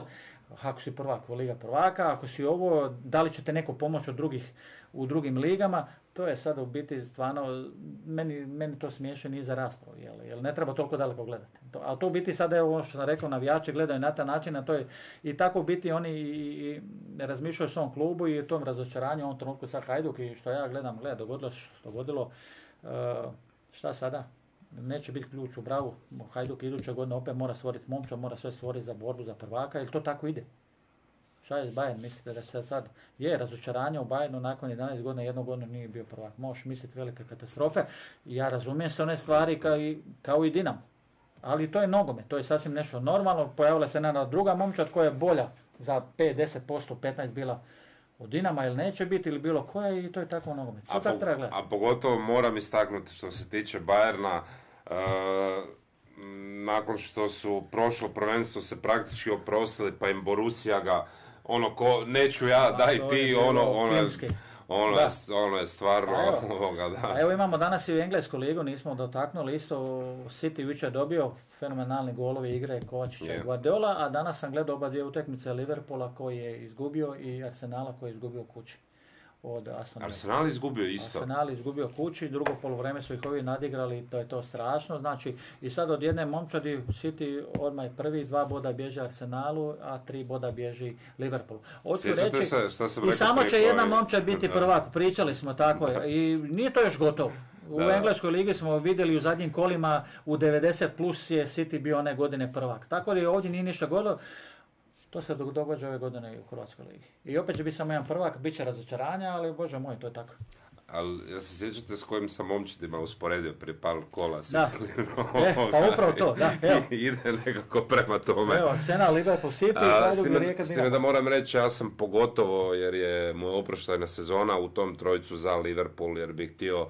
Dakle, znate šta je, znate šta je zanimljivo? Evo sad sam, evo pa pričamo o tom rezultatima i to i vidim e, sad opet sve popularne mišljenje kao klop u 10 godina, by the way 9 ali naravno da će to sad ljudi da bolje zaokru, zvuči zaokružiti, 10 bodova, samo jedno prvenstvo, samo jednu ligu prvaka. U 10 godina, u 9 godina. Da, da, da, kao samo jedno prvenstvo, samo ligu prvaka i kao da li je klop zapravo uopće uspješan. Eh. I ono, a, a čovjek, a sam, a, zato što je 9 godina toliko dugo da se ljudi ne sjećaju kako je, u kakvom je Liverpool bio stanju. stanju kad, je, kad je on došao, imali su, ok, kad je bio Luis Suarez i Brandon Rodgers ono jednu sezonu gdje su bili blizu, ali u principu daleko miljama od, od statusa i koliko su isto 20 i nešto godina čekali od, od 91. do, da, znači, um, čudo, čudo je pa sve dobro, to. Da, da. A Artetu, Artetu će isto sigurno sad, šta ti si već drugu sezonu, šta bio je prošle sezone, ono rekordno, rekordno dugo prvi, i kao, dosta bodova imao prvo. Da, da, kao rekordno da je neko bio toliko kola prvi, a da na kraju nije bio je, prvak i, i, tako dalje. Znači, u, a gled, u Engleskoj su to normalno i to se događa, i sad u Hrvatskoj ligi se to ne smije dogoditi. Jel? Pa može se dogoditi, pa to je sport, to je nogomet. Ali vratit ću samo Liverpool, kratko, on je izgubio ovu utakmicu protiv pa, Atalante. Aha, aha. Od Atalante 3-0, da, da, da, da, da, Sam, samo sa žetke. se najveća pobjeda, to je strašno, kako su ih nadigrali. Ali meni se možda ne sviđa malo jedan kontekst da je i Liverpool i Bayern uh, svoje trenere koji neće biti iduće godine Tuhela i Klopa davno prije već oni uh, dali informacije ili javnosti ili se zna da oni više neće biti treneri za iduću godinu. Možda to nije dobro, jel? Jer gledam onda igrače, znam ovaj, igrače onda možda se i opuste, možda to onda znaju, aha, ovaj trener više neće biti, pa on igra sad na neki svoj malo način, pa možda to i onda i utječe i na rezultate. To se vidjelo i kod, kod Bajerna, Tuhel davno prije, jel, prije dva mjeseca se već objavljeno da neće biti trener za iduću godinu, a isto tako i kod, kod Klopa. Pa mislim da to možda i nije dobro, jel, da se prije kraja prvenstva, bez obzira kakav rezultat kaže da u trećem mjesecu Klopp neće više trener biti Liverpoola. A ima se još igrat desetak, 12 kola. Jel? A ti si ja u nekoj borbi za nešto. Ja sam mislio da će to motivirati e, momčad pa, evo, kao Evo, ti sad govoriš one strane, a ja kao igrač govorim, naš, meni to nije dobro, na, sad neki igrači koji nisu igrali, boli me briga, ovaj odlazi i sad i tako. Sad, u svakom slučaju se to može odrađuje na ove malo lošije rezultate Liverpoola, jel? A isto i Bayerna. Ne kažem da su to razlozi zašto nisu prvaci, Bayern i Liverpool, ili možda će još Liverpool biti, jel? ali možda to, možda to nije dobro za, za klubove, za predsjednike, ko to već radi, da u redu, kolo 2-3 prije kraja prvenstva, ako se ništa ne odlučuje riješiti, ali da ti sad dva mjeseca, tri mjeseca prije kažeš da Tuhel taj više neće biti, on ne znam s kojim motivom dolazi. Dolazi on s dobrim motivom, znamo se da on još je to koji dobiva za iduću godinu Tuhel 10 milijuna eura. Mislim, nije on nesretan, ali nema više ono onoga što kaže 100% učešća svoga ko trenera za tu momčad i pitanje koliko je, s, koli, s kojim motivom ga igrači gledaju s kojim motivom oni određivaju te utakmice i tako. Iako će mnogi reći pa to je Bayern, oni moraju, pa moraju, jel? Da, jer se, jer ja se sjedim 2013. godine kad je Jup eh, Henkes eh, bio u tako drugom mjesecu, se znalo da će Guardiola doći i na kraju šta se desi, čovjek osvoji sve. I to, to i to je ova priča, ova strana da, da, da, rekao da. može biti pozitivno, da, igrače i onda oni izvuku i odlazi nam trener kojeg smo volili, poštivali, imao dobre rezultate i sad ove godine su one. Ali evo, dobro, ne mora biti ovo što govorim da sam pravo, ali kažem evo, vidit ćemo za Liverpool. Bayern je svoje odradio, a Liverpool vidit ćemo još ima da se igra 6-7 kola, ja? 8 koliko imaš.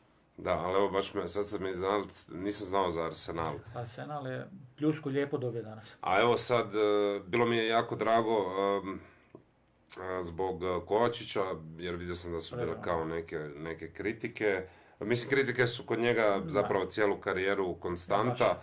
Sad eto kad pogledam, evo, htio sam pogledati, ali evo, sad da ne traži koliko je on na kraju odigrao, a rekao bi poveći broj utakmica za u ovom trenu nema, nema se tu šta reći, najbolju momčad na, na svijetu.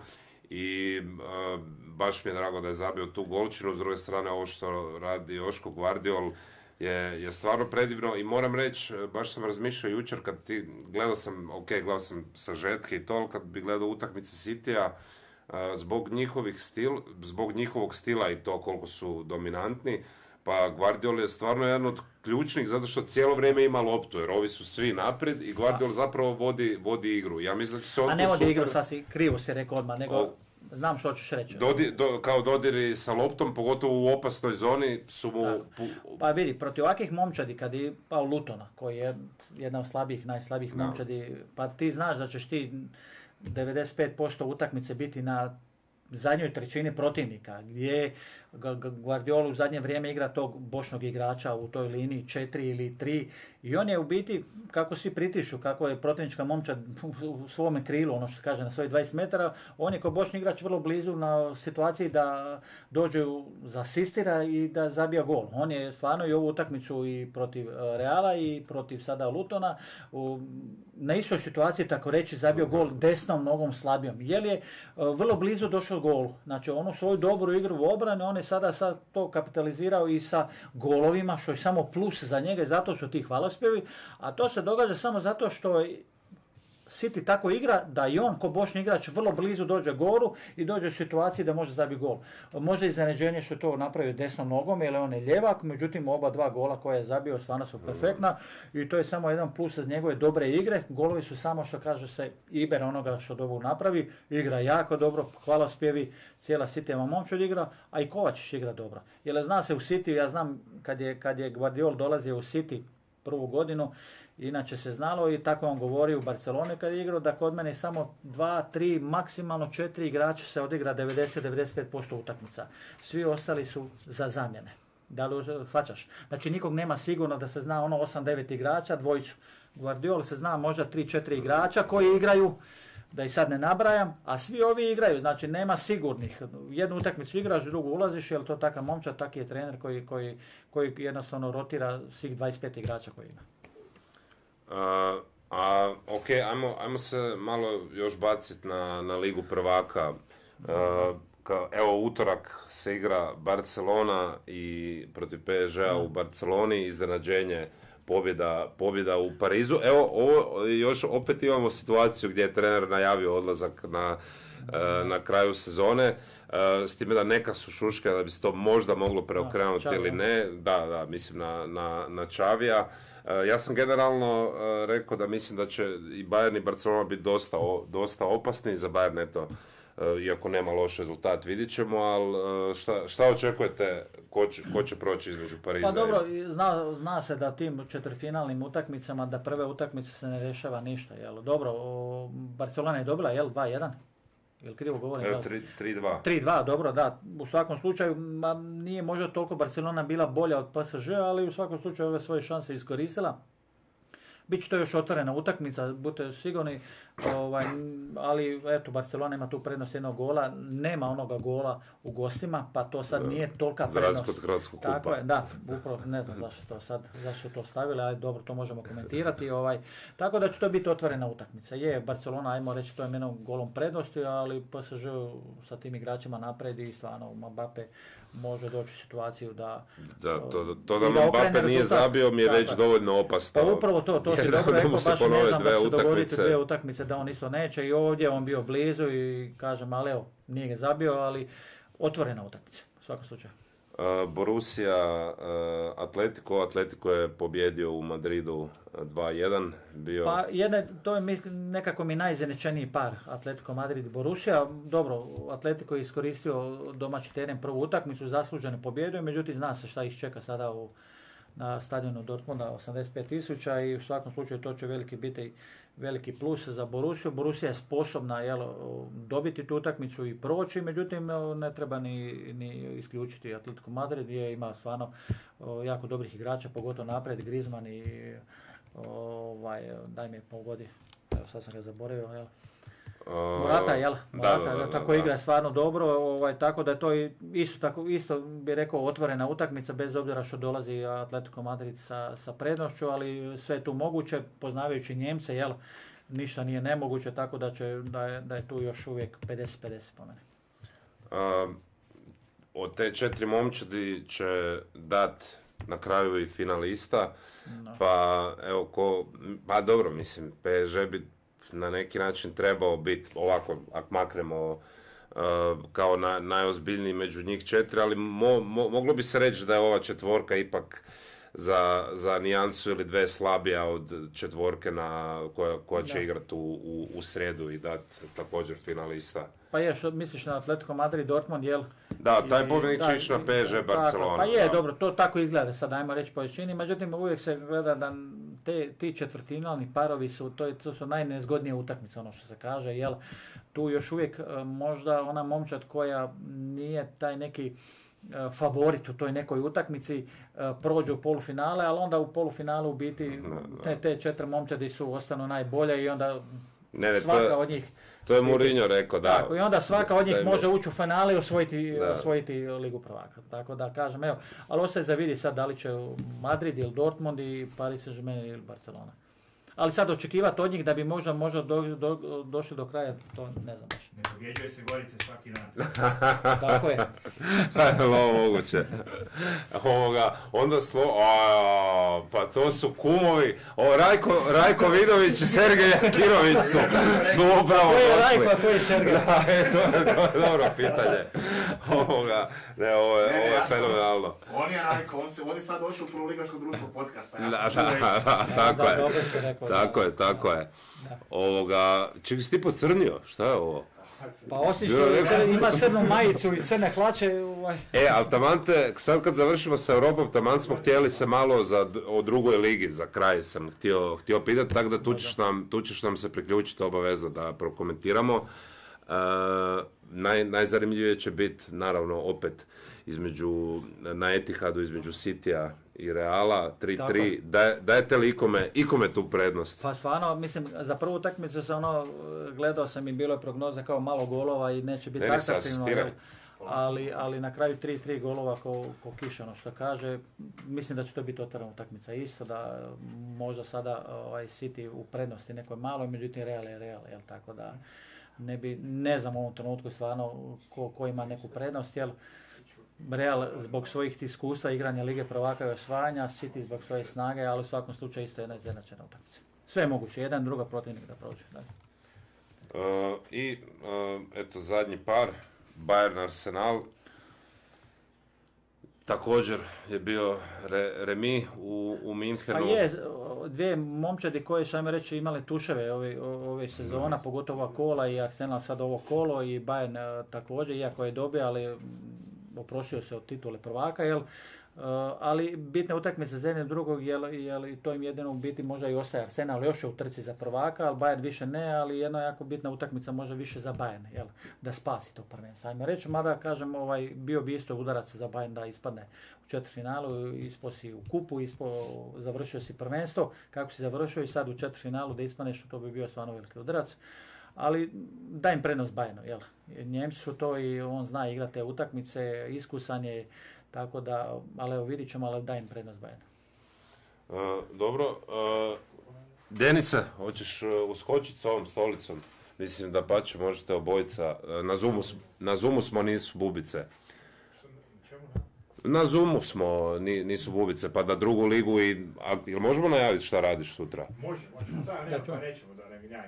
Ali je povezano. Može. Ali, je ali, ono, povezano je. Inače, posla, e, bio je Puba na- napisao, umro sam od smijeha, da smo, da smo postali razi- razjedinjeni kod desnica.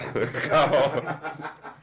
Da, ovoga, kad se, kad se, naš u trenu kad se Denis upalio isto vremeno, bila, bila, je, bila je borba.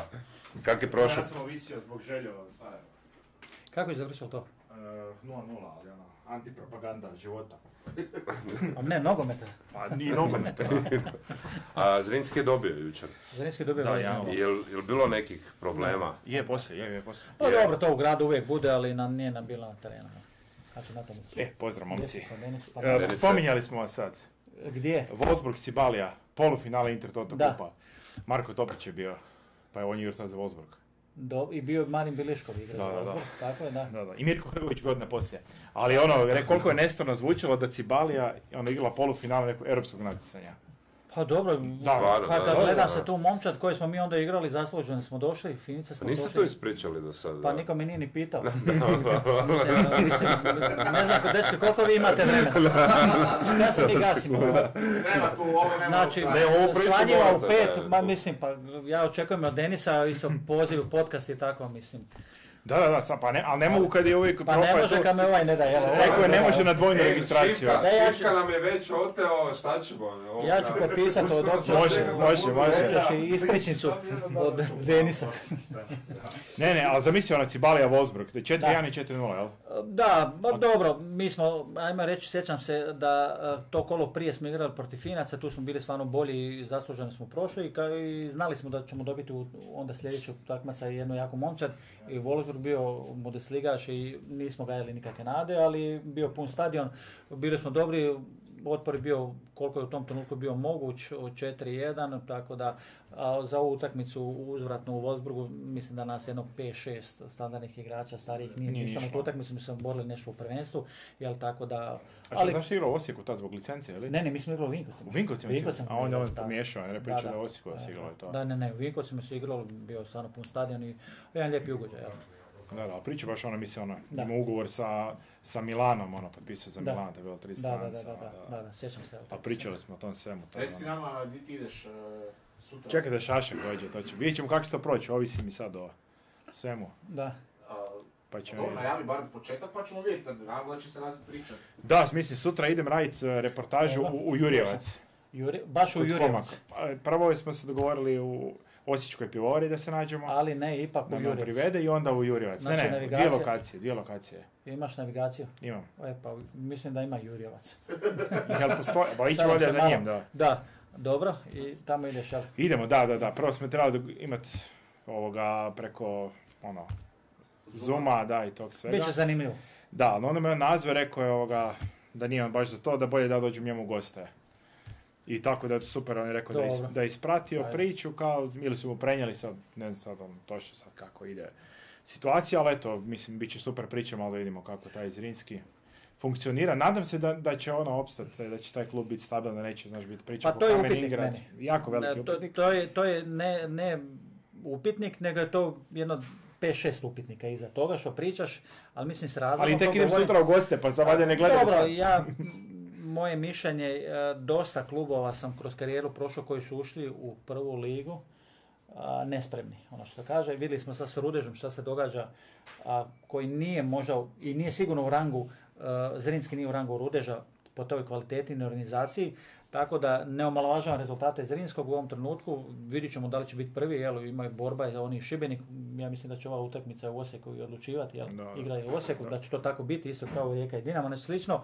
Pa vidit ćemo, ako, ako, ako zasluže, ostanu prvi, zasluženo su, kažem, učesnici, međutim, ovo što se rekao na početku, oni apsolutno, ne znam, mm, igrački i organizacijski, da li su oni spremni apsolutno za prvu A Baš me zanima ta da- priča sa Haškom, da li će kupiti Hašk, da li će igrat na... Je to nešto novo? Da, da. Ma, da mislim planiraju da igrat ne. na Pešćenici kao Pa, tamo šta, šta je to? Pa to, Ne je- to je, e, odmah ću ti reći, Kao to, to, franšiza to ne da se pije. preseli, Pa da. to ne pije Može vodu. malo samo za Ništa, nazdraviti? nemoj ništa. Dobro, dobro. Ja sam sportaš, nemoj ništa. Ne, ba mislim to, to je mi priča koja ne pije vodu. Apsolutno i one neke priče u Mag Zagreb će se, pred... gledaj ti ako uđeš u prvu ligu, mislim da je normalno da igraš u blizu, u Osijeku, stadion koji zadovoljava, da ti dođe nešto ljudi, ovo je priča, mislim to je A stvarno. mislim, situacija sa Rudešom koji je igrao sad e, prvu ligu, to su Premier ligu, kako to e, zovu, a igrao na Kranjči, Da. pa sad kad se prebacio na svoj stadion, veća Druga, gledanost. pa to- ljudi to sam a ja sam tu malo. isti grad, ono, Pa pa da, to- normalno, tako da ne treba, mislim da je to glupost uopće to spominjati. Igra i kod kuće, igra i blizu, blizu Jurjevca, u Osijeku će ti doći puno više Čekaj, gdje je, gledatelja. Jur- gdje je Jurjevac? Pa to je blizu Osijeka. To je baš malo. Pa malo. blizu Osijeka, tako, to je mjestašca od tisuću, tisuću i po stanovnika. Ko Hofheim. Hm. Pa mislim još manje ovo daje. I Da još manje, tako da oni su igrali u Čepinu. Čepin je isto malo veće mjesto, malo u Osječko-baranjskoj županiji, ali teren koji zadovoljavaju dok su igrali u drugoj ligi. Međutim, onda kako su ti porasli apetiti, dođe situacija da se prvi je, sad ja neću igrati više u Čepinu, što je malo bilo, idemo u Gradski vrt. Gradski vrt je Gradski vrt. Da se razumijemo, Osijek, bez obzira koliko imaju gledatelja, ali opet boriš se pa igraš na nekim normalnim uvjetima. I sad, E, ali čekaj, zaboravio se nešto vratiti tu, odaješ dojam e, pristojnog, mirnoga, čuo sam informacije iz Wolfsburgove slačionice, da su te okarakterizirali one koji puno klepa po nogama. Pa nisam, znaš šta, ne, ne, ja, pa ja sam ti ovako u privatnom životu, inače ljudi kaže ti si na terenu jako nezgodan, bio je neugodan, u kontekstu neugodan ne da nešto pičkaram i to, nego jednostavno takav sam bio igrač, ali u privatnom životu sam sasvim normalan. Ali to je Ne znam, ali kaže da su bili veseli što Pa ne ideš na, go, na uzvrat Ne, u, ovaj, u Wolfsburg. da, ne, ne, ni- nisam ja takav igrač bio, ne, ne. A nisu ni oni libučice bili, znaš. Da, ma znam. Tako da. A to nije taj Wolfsburg je sjena. Pa to je uvijek tako, uvijek oni koji najviše tuku, najviše pričaju Ne, da, da ovi ne, drugi ali- tuku. ne. Ali Lever, Leverkusen prvak, momci, a? Zaslužen, zaslužen. Svaka im čast. E, Darko, Darko pokušava paralele s Rijekom ovoga vuć. E, Moram reći jednu stvar, evo, Rijeka je već bila prvak, Leverkusen nije. Da, tako da pada u vodu, pada to u vodu. Da, da. Moram reći jednu stvar, e, Denis e, uvijek dođe punih usta, sa većinom toga što kaže se ne slažem, ali uvijek dođe i Pa punih, uvijek dođe i punih ruku, Denise. e, živjeli, živjeli. za Denis podcast, mislim da prvi puta si. Da ne bi ljudi mislili da mene niste počastili, ovo je bevanda, jel šta se pije, a nije Da. kola, tako da... Ovaj. E, Zapravo smo, zadnji put kad smo bili nas trojica je bilo par minuta prije prvog e, Denis podcasta Čebraja. Je. O, Bože, Tu je, da, tu je mo- montiran, da. Moram te pitati, nadam se da ćeš ipak e, ovoga, e, da ćemo se uskoro uloviti za jedan na jedan, ali e, Ja sam predložio nakon pobjede protiv Varaždina i Može, eto, i da ako- prokomentiramo ako- i parlamentarne izbore. Ne, Sigurno ne, ja- nećemo biti na istoj strani. ali, ali čujete ovu To što pretpostavku. Super mi je šta je zanemario jedan ovako događaj na taj dan, ali dobro, nema veze. Dobro, nećemo Da, rođena, parlamentarne ne, izbore. rođena, rođena nema gospodina. Znači, parlamentarni izbori, Taj dan ne nosimo novce iz kuće. Ja, dečki, sutra u banku i kredit dizat. U sredu će se potrošiti malo više, ja mislim. Da, da, da. Ne, ne, neće se ništa potrošiti. Ne, ne, u tom je stvar. Mi nećemo, A, a, on ti će. a Slavlja On ti će, neće. znači, plati parlamentarne izbore i Dinamo pobjede protiv Artiksa. Sve, sve, Nećemo i počasti. preturo, Nek oni to samo prvo dobiju, ali sve kako je krenulo i Onda, daj- onda, za pravo onda da ti u banku ideš, Antun. Da. Vjerujem, Daje mi za pravo da, da, da vjerujem u to. Dobro. A evo, e, Denis, znam, znam da ne voliš puno pričati o sebi i hvalit se, ali od, od tih koliko je prošlo, ja bih rekao možda tri tjedna, stvarno bi ovako rekao da ide fenomenalno i što se tiče i po, i po brojkama i stvarno si maksimalno aktivan. Mama mi je došla neki dan ču, Denis stvarno toliko snima kao ovoga, e, svaka ti čast, e, da li si, da li si ti to očekivo i šta, je, jesi ispričali da ideš sutra? Jesmo, jesmo. Jurjevac, da. Kako, kako općenito- si zadovoljan do sad? Pa dobro, zadovoljan sam s obzirom da živim s pet žena u kući, mislim da su podcasti i zašto toliko snimam, to ti je odmah odgovor. Jesu oni protiv ili za? Pa, Svi su apsolutno protiv, ali sad kad sam ono imam kao svoj podcast pa radim za sebe. Aha, dobro. ono i to, pa takih valjam da su to veliki prihodi samo koji trebaju stići, razumiješ? Birokracija od YouTube-a i to. Jesi poslao ono... Uh, ja sam sve poklikao, pa šta bude, bude. Šta bude, bude, ono. Tako Ne, da ne. sve sam poklikao i to je to. Ali ne, ne, nema šta drugo pametnije ni, ni Sad napraviti. čekam dan kad više ne moram, sad samo kad radimo doma. Iako i to, kažem, s obzirom da živim s pet žena, isto nije neko rješenje. Tako da, eto vidim. Nadam se da ćeš ti naraviti stvarno ko kanal da mogu postati tipa stalno zaposleni suradnik koji će morati ići u Jurjevac na teren i tako. Ali općenito ovo će biti drugoligaški tjedan, napokon bi trebao loviti Petru Mandić. Jer je bilo glupo, ja i Petar smo u kontaktu cijelo vrijeme, ali smo čekali prvu pobjedu. Jer ono malo je, i njoj je bilo stvarno je cura skromna. I ono prva profesionalna trenerica, ali bilo njoj glupo, ono izgubili su u Cibalije, da. Je bio poraz doma. Zaslužen. Je prvo bio Da. X Zaslužen. sa dugopoljom, Ali znaš, pa... a njoj je bilo glupo šta će ona sad ono ići Ne, prvo poraz pa X, da. Da, da, ali Dobro, ono, ćete ona pregledati isto, poslije doktorica. Uh, pa gle, mislim, ne može online to više sad. da, uh, a mislim, dobar pobjeda. Svi u gol Dragana Juranovića, ne znam, svi Slobodnjaka, brutalan da, gol. Pa da. on to ima baš. Aj sad nadam se će i Dubrava dobiti malo i, i napokon i promičbe i to. I radi, radi dobar posao po društvenim mrežama, tako da malo su se i to Aha. aktivirali. Meni, vidio sam da je Vrbančić opet igrao. Da, da. Uh, žao, Iskreno vidio sam meni- samo, samo sam vidio gol, tako nisam, uh, ne mogu ti mislim- reći ništa kako je igrao i to nisam, nisam gledao utakmicu. A, Meni je samo žao zbog moje riječanke da mi je Orient uh, predzadnji, vidim da, da im ovoga visi. uh, Dobro, ti ćeš možda biti, možda ćeš biti rame za plakanje ako ispadnu. Da, da, to je, to je isto. prvak, slušaj, ili ćeš biti prvak ili ćeš ispast. da, da, da, da, jedna, da, da, jedna, jedna momčad ti- u Ti si u klubu. blagostanju ove godine. da, da, da, tako je. A jesi rekao da ideš sutra? Jesam, jesam Treći put je u, u Osijek, Aha, u Osijek i Jurjevac sad. Ja ću mu reći Ja kud sam mora ići, kud, kud mora putovati, gdje se mora odvojiti. Gdje treba jest.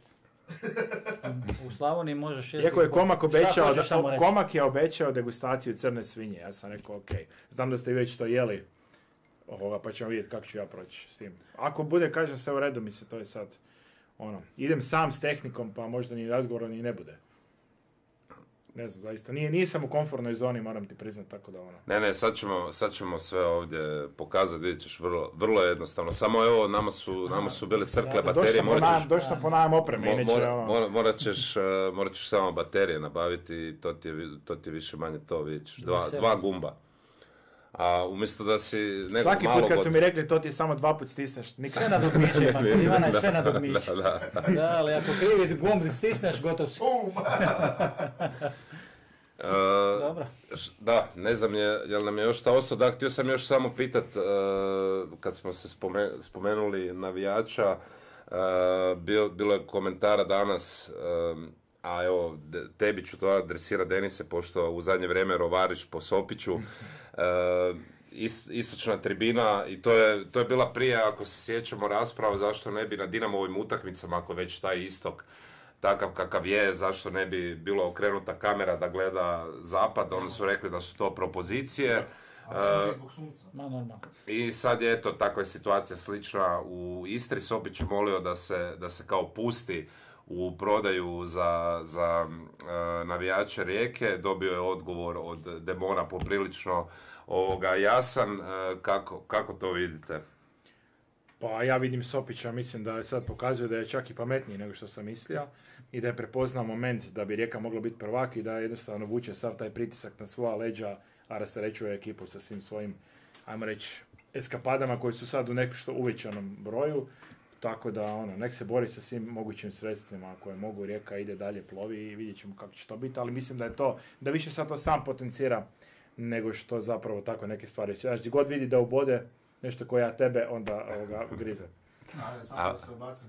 A, koliko bi u Dinamu trpili krilo koje pet mjeseci nije dalo gol? Da, da, to je. Evo, To je- znači, nije se pričalo minute o tome, zato što je Sopić uzeo sve na sebe. Ne, ne, baš, ja mislim da je baš sve uzeo na sebe i da radi taj Gledajte, potez koji je potreban u ovom trenutku. dok ima rezultat koji ima, a ima ga sada 9 mjeseci, pričali smo, niste bili tu, nula golova, 15 pobjeda i tako dalje. Svi novinari koji ga čekaju možda na volej, ono što se kaže, zbog svih njegovih izjava i tako, to pada u vodu. Tako i ova izjava što tiče tribine, to je nešto sasvim normalno što on tražio. Istra može prihvatiti ili ne prihvatiti, Istra namjerno nije normalno da nisam očekivao da će pustiti istočnu tribinu otvoreno, došlo bi 3000 ljudi iz Rijeke još, ovaj, velika armija, jeli, velika poticaj za, za rijeku, oni to nisu pustili nikakvih problema. Na kraju kraja Sopić izjavio pa nema nikakvih problema. On je pitao, oni su rekli ne, na kraju krajeva došlo je pa 2500 navijača dovoljno. Rijeka je dobila i to je gotova priča. To je jedan folklor pred utakmicu, slažem se s tobom, što on pokušao sad na sve moguće načine, možda malo i da rastereti momčad na bilo koje načine. Možda to neko ne vidi, ali to je trener, on je to radi, jer sad sve manje manje utakmica, pritisak je sve veći i to je u redu. Dok ti pobjeđuješ, sve je dopušteno i ništa ti se ne prebacuje. znaš. Iako sigurno ste pričali, Istra mi je bila odlična do gola. Je, Fuka. jesmo rekli, Baš Tromezani je je- promijenio i obranu i sve, je. uopće nisu bili Pa inferiorni. znaš šta, i taj utakmica da, Istra Rijeka, to je uvijek bilo, kad ja znam, kad sam igrao i međusobno njihove utakmice u šarf uvijek bile. Bez obzira da li je Rijeka bilo puno bolja, Istra puno slabija, uvijek ta utakmica je bila negdje 50-50. Ali iznenadili su me danas. Su Je, pa Istra već od kad je došao Tramezan igra puno bolje nego prije, vidi se ima glave i rep, ono što se kaže, jel, zna se ko šta radi. Pa ja sam mislio odlaskom, to je kad su se riješili Ercega, da će to biti što se tiče napadačkog dijela za Istru puno gore, da ne, imat će puno problema. Međutim, dobro, ne zabijaju oni puno, ali ne, ne vidi se taj nedostatak. Možda neko će reći vidi, ali Istra izgleda kao momča sada. Da, Znači, zna, se ko, kako se brane, kako napadaju, na koji način. I bili su dobri prvo polovreme, Rijeka je bila loša prvo. Žao Iako mi je ti je za... Stopić pod velikim pritiskom za Frana Ivanovića. Aha. Od uprave kluba i od svega. I znam da imaju ozbiljan pritisak jer Ali- se Franju treba prodat na ljeto. Ah. Tako, a baš i ne igra se i ono naš, Ali, tako da je to pod odmah ću ti velikim reći, Samo ga rezultat tu, Da, bravo. tu, samo rezultat ga drži. Kad se ti boriš za nešto, kad igrate na Kegliću ili bilo gdje igraš, kad igraš neki turnir, kad se boriš za prvaka u košarci, vaterpolu, pa sada u nogometu, onda ovo što ti govoriš, ja te razumijem da Ivanović možda neki projekt bio na početku i on je bio prva špica. Ali onda ti se dođe Marić koji je isto kvalitetan, pa ti se probodi Obregon, pa ti ima sad tri špice. Sad trener bira. U ovom trenutku ja ne kažem da je on sada izbacio Ivanovića, da može bi trebao igrati više, ali ti se boriš za prvaka i dok god imaš rezultat, onih 11 koje Sopić stavi, jesu pravih 11 i to se pada u vodu. Normalno, ako dođe situacija, ovo sad što govoriš da Rijeka ne bude na kraju prva, onda će može biti nekih pitanja zašto je zadnjih 7, 8, 10 utakmica Ivanović igrao dvije utakmice, da li me razumiješ i tako. To je sasvim normalno, ali dok ti pobjeđuješ, onda niko ne postavlja pitanje zašto igra Marić, a ne igra Ivanović, ili zašto igra Radeljić, a ne igra Mitrović. Sad ja ne su ili tako dalje, tako dalje, tako dalje. To je, to je nešto sasvim normalno.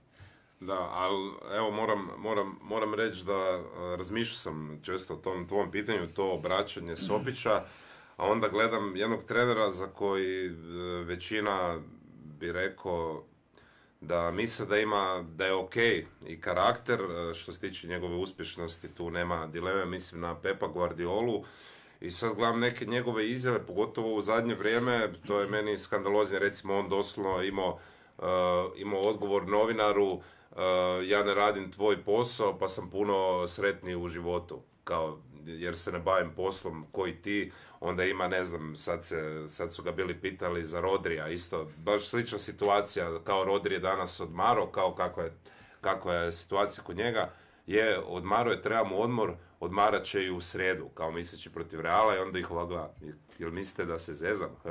I tako ono, stvarno je sam, eto, da, da malu usporedbu, da, da se ipak dešava i kod puno elitnih trenera koji su na boljem glasu da meni, po meni pričaju još gore Da, stvari. ali I mislim, da, ne Sopića, volim- svi, mi koji ga, Pepa. svi mi koji ga znamo sa malo nogometnih terena, pošto on vrlo aktivan u ono i kao i veteranima i sve, svi znaju da je lujka i na terenu, znači on se ne gasi, non stop radi pritisak i na sudce i tako ima i svoje eskapaje tamo. Samo mislim da ovaj javni njegov nastup da je ciljano malo ono u eksponencijalnom rastu.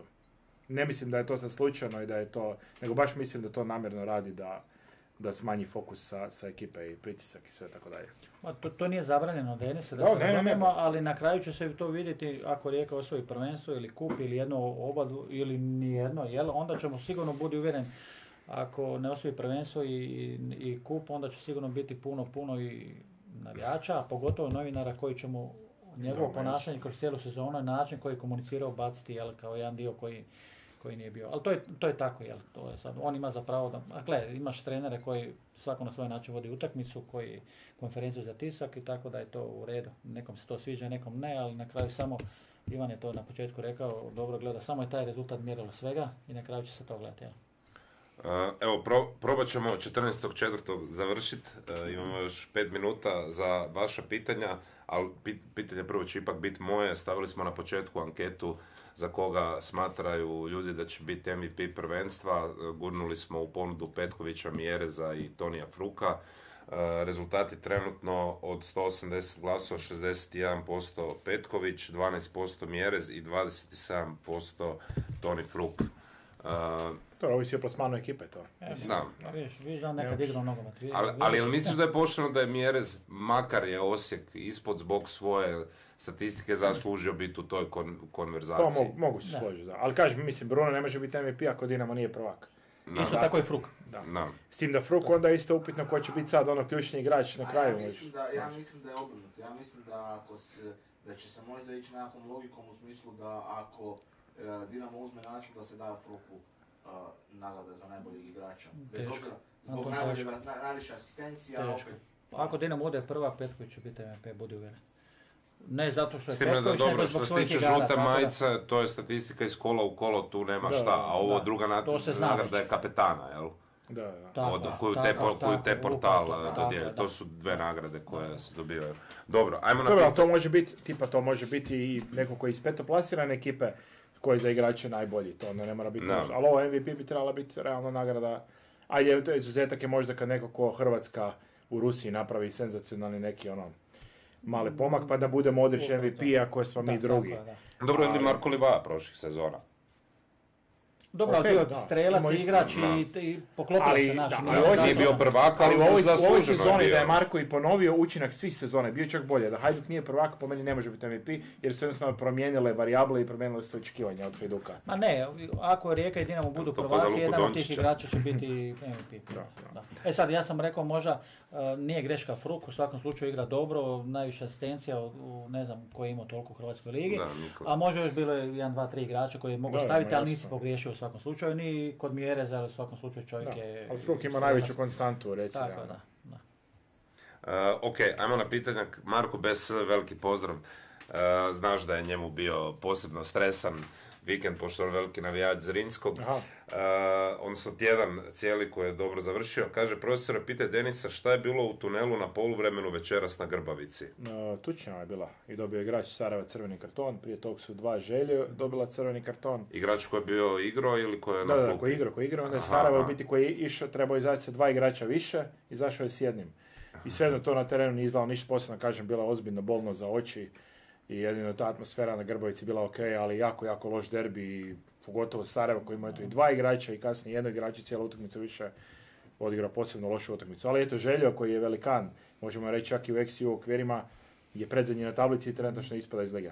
da. Kažu, To je, to je skandalozno. To Da. je skandalozno. Pa, da, da, skandalozno je ko nije pratio, s obzirom da Željo cijelu godinu, oni su mijenjali predsjednike i trenere, imali su i Saudijske Arabije, pratio sam ja, znači lutali su puno, jel? Lutali su Doveli su puno, iz Saudijske Arabije koji uopće ne zna gdje je došao. apsolutno. Ko na menadžeru kad uzmeš to priče su došli, financijski su velike probleme imaju financijske i dogodi se evo to što se dogodi. Sad što je željo, željo u tim nekim okvirima Bosne i Hercegovine što ga mi znamo, LV klub, ali dođe situaciji koji je, sad vidit ćemo se spasiti. pazi, ima, imaš top trenera, Nermina Da. Bašića, jednog od najboljih Da, trenera i prođe u Europi, napravi čuda se rezultat.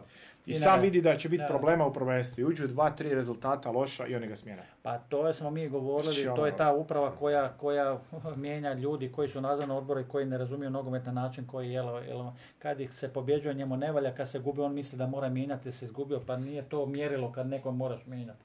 To se želji dogodilo, to znam, ali ovo što se događa svaki put kad je želio Sarajevo igrali ili obrnuto, uvijek su bili ti neki neredi, to znam Da, sam, to je amonizitet koji oni imaju u Sarajevu, to je strašno velik, to je...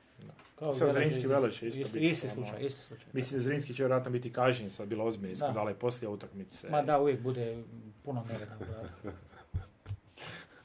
Ali Zrinski je realno loša sezona u BH okvirima. Jer praktički ti već mjesec i pol dana do kraja sezone si izgubio titulu. Pa dobro, gledaj, sad, naša... Uh, Mada Europa je bila- Europa je bila tako okej, je, da. vidi, da, da, sad sam to htio reći. Zadnje dvije, tri godine Zrinski m, jedan, limi, jedan dostigao onaj, kako bih rekao, rezultate koje sada ako odeš ispod toga, onda je to neuspjeh. Da. I sad dogodilo se ove godine da je Boras Banja Luka bolji, neću ulaziti u to koliko im pomažu suci i tako, to uvijek priča dolje u Bosni i Hercegovini, ali stvarno cijelu sezonu igraju bolje. Zrinski promjenjivo igra, ovo što se rekao, imao je tu Europsku ligu, pa konferencijsku i u prvenstvu nije bio dovoljno dobar jel, da bi došao, da bi stigao gore. I dobro, ove godine će biti drugi, treći koji će završiti još, jel ne znam koliko. A zašto, ali nije mi je argument taj za suce baš toliko nijak. Jer ipak Pa. imaju 10 bodova više nego svi u derbima, koje god igraju nisu loši, najbolje skoro i plaćaju igrača u Sarajevo iz Rinski. Znači po svim tim parametrima su ono, imaju, ok, imaju to probleme, predsjednik Saveza je tako kakav Tako je i to Dobro, sve. nećemo sad potencirati, to Da, je, ali ali- Boras Banja Luka ove godine znam, sigurno imaju, stvarno su sklepali jednu dobru momčad. Je, je, je. I ne bi oni bili sigurno toliko kola prvi da, da njima samo neko pomaže. Naravno. Ne, sada samo iz tog konteksta da. sam rekao, nije Da. sad to naš, ono, samo Zrinski nije prvi, ali Tako je, jer im ne dozvoljavaju. to, Ne, s tim ne, se ne, ne, slažem, ne, o tome nećemo ni pričati, Da, da, da, da, nisu prvi, ali da neko ih je potkao. Ne, ne, ne, da su taka je sezona. Uh, Mr. Supik, zna li netko gdje i čime se bavi veliki gospodin Zvonimir Soldo? Spiza je spomenuo Bulldoga, sjećam se da je on nekad Da. držao taj eminentni lokal. Ja mi zadržio još uvijek. Još Da, uvijek, ja tako isto da. A jel se bavi Ne, ičime u nogometu? poslom ne, koliko ja znam. Ne. Uh, Deni, stari, stari čatnik pita je li bilo štoka u Jugoslaviji? Ne znam je li to pitanje za vas, Darko, ili ne znam, nemam pojma. Štoka? Da, da, da, da. Kao alkoholnog pića. Pa bilo. Valjda je, da, kao brand, kao, kao baš štok, štok, ne vrsta. Nemam pojma. Ne. Ovoga, e, jedno, jedno jako zanimljivo pitanje koje je bravo za Deni Tenka koje sam propustio, a u Whatsapp grupi sam pisao mišljenje da li je bio penal za, za Istru. Znači, po meni, e, evo, a to moramo, A je moramo, a kad je ruka bila, znači ruka da, bila jedan kroz jedan, onda sam razmišljao to sad kao zato što ona je upućena izvan 16 terca, koje bi uopće pravilo moglo se izvući, a ja ću dodat uz to da li je e, lopta prije asistencije Brekala izašla e, Gledalo se to. i, izvan. Se. I šta nije Sigurno izašla? bio kadar. Bio je kadar na tome i... Pa meni to što sam vidio ne izgleda baš ni za jedno ni za drugo. Pa čekaj, zna se pravila ka- kada je lopta vani. Mislim, ne trebam to spominjati. Trebam spominjati pravilo. Znači, cijeli obujen lopta mora biti tako. je lopta pola centimetra i manje pola centimetra dira liniju, ona nije vani. Znači, cijela lopta mora biti, cijeli obujen lopta mora biti izvan one linije da ne dodirala. I to se da provjeriti, jel? Da li je ona bila izvan ili nije. Ako je malo dirala, nije vani. I gotovo priča. Uh, Denis, vel, v- v- realno, kažem, nismo htjeli potencirati, nismo takvi, ali uh, vel- velika odluka, jer to je pri, pri 1-0, 70 minuta. Penal za Osijek. Uh, aha, da li je bilo penala za Osijek? Da, ali dobro, pusti to, oni to, pusti utopljenike, Čekaj, ovo ne, ne, je... ali da li se i u Puli i u Hajduku, da li se išlo gledati VAR? U, U Istri nije. U Poljudu se gledalo. U Istri nije. A zašto se u Istri, a zašto u Istri nije išlo gledati? Ja, ja stvarno ne znam. Ne, ja samo komentiram sada, jel? Za, zašto postoji VAR? Jović je išao gledat. Jović je išao gledat, to sam vidio, to sam... Dobro, pozvali su ga, ruka, vidi, sve u redu. Istru nisam gledao utakmicu. Ne, Mislim da nije isto, ja sam gledao utakmicu, ali ne sjećam se da je Nešto zaustavljena on, on se je par puta, bio je out odmah. I ovi su mislili, pa i komentator emisije, bilo Ja mu je neugodno, čekao bio mu je neugodno u zovu. prijenosu reći kasnije šta je ovo, ali rekao ne, ne, bila je ruka, sad će pozvat. I Bele možda za uho se ovo i vrlo brzo kao... uho samo čini Da, da, da, da, da. Ali jesi vidio situaciju? A ne znam, općenito ta pravila za ruku su mi ne, ono, totalno čudna. Ne znam, i isto pravilo, ako sam sebe napuca u ruku, da nije penal mi je isto debilno. Znači, ono, ne, bilo je dvije situacije. Jedna je Bernauer, jedna Tad druga je suđeno, a druga je Ristovski na poljudu. Da, da, ali neku, ako on napucava i sam sebe udara, on direktno sprečava moguću situaciju, znači utječe Da lopta negdje ode. Da, drugo sad njega odbija, ili on, ili on ako ga odbija i opet mu je ruka tu, opet nije penal ako ga je dirala u butinu. Onda se ne primjenjuje uvijek isto. Onda potporna ruka ako je tu nije penal, ako je raširena je penal. A isto je pot, znači ono, totalno su zakomplicirali, ja mislim da, da bi sebi olakšali neku, ne znam, ne- zaista više, više ljudi koji su puno stručniji nego ja, jednostavno više, ono, samo ti kažu ne znamo Ne, više šta je penal. Vidi, Denis, igrao sam i znao sam kad je ruka i to je Deniserac kad nije bilo Bilo uz var je šta. ruka postala kompliciranija je- duplo. Sada je ruka i ta ruka ima pet razloga da li je ili nije ovo sad što si rekao. Svako odlučuje i kako njemu biti odgovara. Sud, za suce govorim. Ne Da. kažem ti jednostavno da li je ona uz ruku, da li nije, da li se napustio, da li je slučajno te pogodila ili te nije slučajno pogodila. Mislim, a to je da je zapravo upravo sucu da on ima mogućnost uh, više. Mislim, to je neka situacija. Čak i najskandalozniji penal što sam vidio kad je Joško još igrao u Leipzigu, igre kad je bila ono, mislim, 6-0 izgubili od City-a. Da. Ali prvi, ali prvi gol, da, ali prvi gol bio tako da iz. Leipziga čovjek pada skoro unese iza ono gleda samo da ne slomi kičmu i lopta ga štrajfa po ruci. On uopće ne vidi ruku i to je bio tada dosuđen penal na, na takvoj razini utakmice. Tako da ono Da. našo, na, na, na svim razinama se ta ruka je stvarno ozbiljan, ozbiljan problem i jednostavno, ne znam, možda najjednostavnije ruka na loptu, penal, lopta na ruku nije penal i da to bude. Zna se kad je bilo penal, ne znam što sad izmišljaju. Evo možda pitanje, pitanje za kraj. E, Kaže Danny Tank, Profa, dajte 15 igrača van prve trojke na tablici i mogu li parirati prvoj trojci? Kao pretpostavljam da ih skupimo sve, e, sve, sve skupa. E sad 15 je malo puno, se možemo na 11 zaustaviti ovoga. E, pa dobro, ajmo, od, ajmo popuniti Ako, ovo. ako gledaš Dinamo i A koji je Hajduk, igrač? ako Ne, ne, Dinamo i Hajduk do zadnjih, ne, do mjesec dana pa svaki može parirati. Mislim, pa koji nije parirao od kojih klubova? Za Dinamo je sad kažem mjesec dana, ali ko, ko nije parirao? ima možda u Rudežu dva, tri igrača da. Pasariček. Golman Marković ako mu je dan. Da. Marković ili Ban? Banik protiv Dinama. Pavlović, Pavlović jako dobar. Bio. Kako se rekao. Preskočit ćemo ovo. A Ali bi dobro, možemo-. Što vodiće trojke, jel? Ne, Marko. Ne, njih maknem. Dobro, eto imaš mjere za već kao napadača. Ajde, dobro. Dobro, Evo, na Imaš- golmana bi Imaš stavili. Bukvića za krilo, sigurno. Zeleniku bi stavio na gol. može. Onda bi iz Varaždina uzeo možda oba dva beka. A ne bi Štigleca. I Crnogorca. Ne A bi. ne bi svog Štigleca. Štiglec, Štiglec, Štiglec igra lošu drugu polusezonu. Nema veze, ali Štiglec dobro. bolje nego Borš, u Igra. svakom slučaju. Štiglec igra boga mi lošu polusezonu i nema gotovo nikakav učinak što se, budemo pošteni, uklopio i sa učinkom Gorice koja je nestala. Drugu, Ali- polu- drugu polusezonu. Ne, ne, Ne, gledamo sad igrače 15 koji su u formi ili koji 11 misle da, ili 11. Nećemo gledati po formi. Ja bi složio 11 koji mislim da bi mogli ugroziti ih u toj utakmici. Znači. Kao, Ne Jel forma. to, jel to ona Da. e, utakmica sa RTL-a, kako se zove ona? E, bo- ono, zvijezda. Ne, utakmica, utakmica života. Ali ima bi Utakmica života, da, možda ima, bi, ima, bi tu, ima bi tu momče za po Hrvatske po meni. Pa ne Pa dobro, našlo bi se sigurno 11 koji bi bilo ozbiljna da. momčad u svakom slučaju. Pa koji iz bi- lokomotive imaš. koji- Tako i- je. Tako, da, lokomotiva, Osijek. Dodaje, dodaje nešto iz uh, Gorice. Pa imaš iz Varaždina, iz Gorice. Po meni su Ponavljam Varaždin oba dva beka ima odlična. I ovaj Crnogorac koji je čak do reprezentacije došao Vukčević. Tako da on odlično, Vukčević, odlično. možda Bošić, ne. Da, Bošić je kapacitetni drugoligaš. Šotiček. Šotiček, po meni iz, iz Gorice. tako je. A, imaš, imaš, Možda na lijevog krila Krivaka za ulazak s klupe. Ima to, ima to. Da, a, da.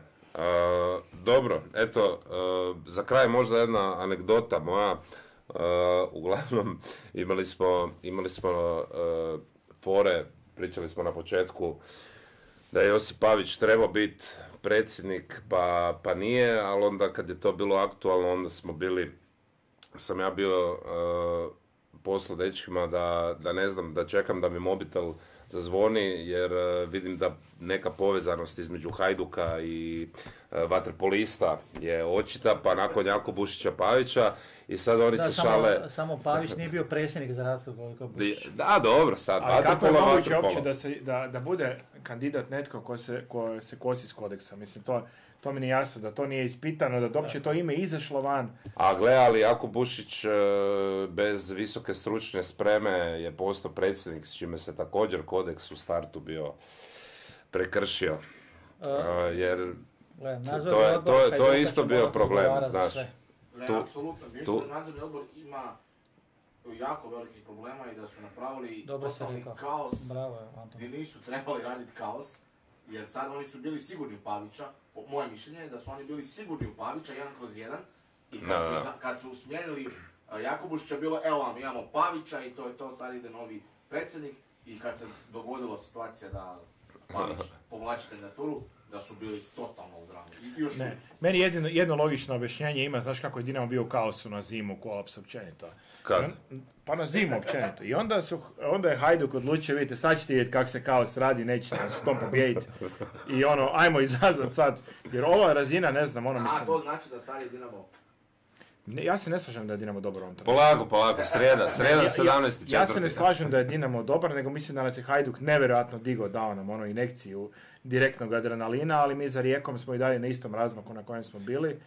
Tako da ne bi se ništa previše zanosio, ali taj peti peti i Rujevica mislim da će biti utakmica svih utakmica Pa, i i- do tad ne vjerujem. Ja vidiš da su svi u padu, nije to koji je prvi poluzone. Ja sam Mislim da se više komentirao- neće gubiti puno. Ja sam komentirao da je. Dinamo po kvaliteti prezentacije koja ima sada bolje igra nego Rijeka. E sad kad neko kaže bolje, onda će reći ko je jedan novinar što sam ga pročitao u indeksu, Rijeka igra slabo. Rijeka ne igra slabo. Rijeka igra dobro da pobjeđuje svaku utakmicu, ali Dinamo isto igra nešto bolje od Rijeke. U ovom trenutku Rijeka nije na onoj razini kad je imala po utakmici 20 25 šuteva i 8-9 šansi za gol, ali to ne znači da ako sad to nema da igra slabo. Igra dobro. Ona je danas odigrala utakmicu onako školski što se kaže, ne previše dobro, jedno poluvreme dobro, bolje drugo drugo poluvreme. tako je, nije to je bitno. Tri boda su u džepu. Dinamo igra puno bolje od Rijeke, zadnjih pet utakmica. Samo rezultat nije mjerilo, ja sam to govorio, niste bili, da pokaže da koliko Dinamo igra dobro. Dinamo je pobjedio Goricu 2-0 i to je za Goricu dobro, ali da Dinamo je iskoristio ono koliko je igrao dobro, bilo bi 3-4-0 za Dinamo i neke utakmice druge. Znači Dinamo za svoju dobru igru minus je samo te šanse koje ima ne realizira. Puno šanse ima ne realizira. Slažem se, sve, sve će to pasti u vodu. Ovaj sad vikend je po meni isto jako bitan za Dinamo. Ajde, dobro, sreda nećemo trčati rudu, ali Dinamo... Lokomotiva? Ne, ne, u sredu Dinamo Varaždin. Varaždin to mora dobiti, to nema, ali jako, jako bitna utakmica, jako teška utakmica za Dinamo, I- jer Gorica igra, ide Rijeci, Rijeka isto ne mislim da će kiksati i Dinamo, ova utakmica možda je jedna gdje bi Dinamo mogao kiksati ako se dogodi kiks pred možemo- utakmice ali- do Rijeke. Ali možemo složiti da je Dinamo ono nadušao malo.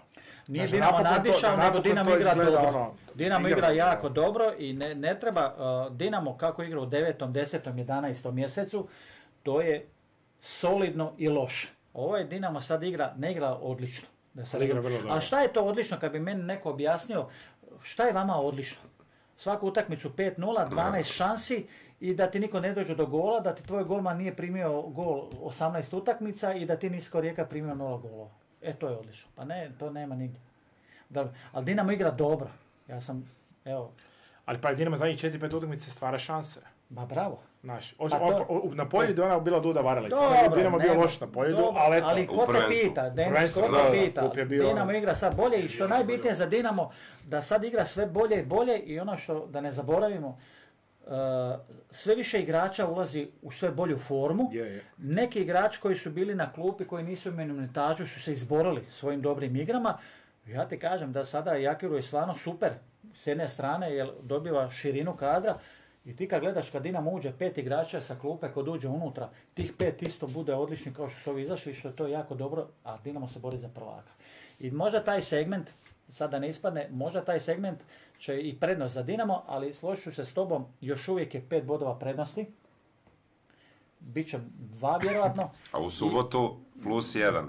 Ne, to ćete sad vi, ja ću sam mirnije sad to gledati i stvarno ova, možda ovaj vikend će biti jako bitan za Dinamo da ne kiksa i onda, što to kažeš, u Ja, Rijeci bi Istra, u Rijeci je gotovo. Ne, ali Istra, Gorica napokon bude 5-6 šanci. Ti prije 2-3 mjeseca nisi to imao. Pa to sam I cijelo vrijeme ti ideš uvijek. To sam komentirao. Ali- E, rezultat samo nije pokazatelj da dobre igre. I onda neko kaže, ne, Dinamo je dobar, Dinamo, pa ne trebaš tražiti kruha preko pogače, ali kad budemo govorili u Rijeci, bit ćemo tu Rijeka Dinamo, ako bude došla ta Možeš razlika na dva boda, e, onda ćemo, onda A će može biti još to. jedno pitanje Darko za kraj. Može. Jesi li ti šokiran izborom novog trenera Hajduka? Znaš u kojem kontekstu da pitam? Ako je on iz akademije projektiran da bi mogao ja imati potencijala, on, to je, ovo je najgori trenutak za njega, jer je on će biti izgubljen prekršaj, nešto slično kao što je, nije bio takav momentum, ali Jovićević je nekako potrošen brzo u Dinamu. Ovaj je došao tu da izgura slačionicu kada je najgora situacija. Jel te bilo najlogičnije možda da Boro Primorac, koji neće ništa na njegovu reputaciju biti ono oš- oštećen ako Hajduk izgubi sve do kraja, da on može i na svoj autoritet, nego slačionica je razvaljena, cijela naš svijet već čekaju kraj sezone.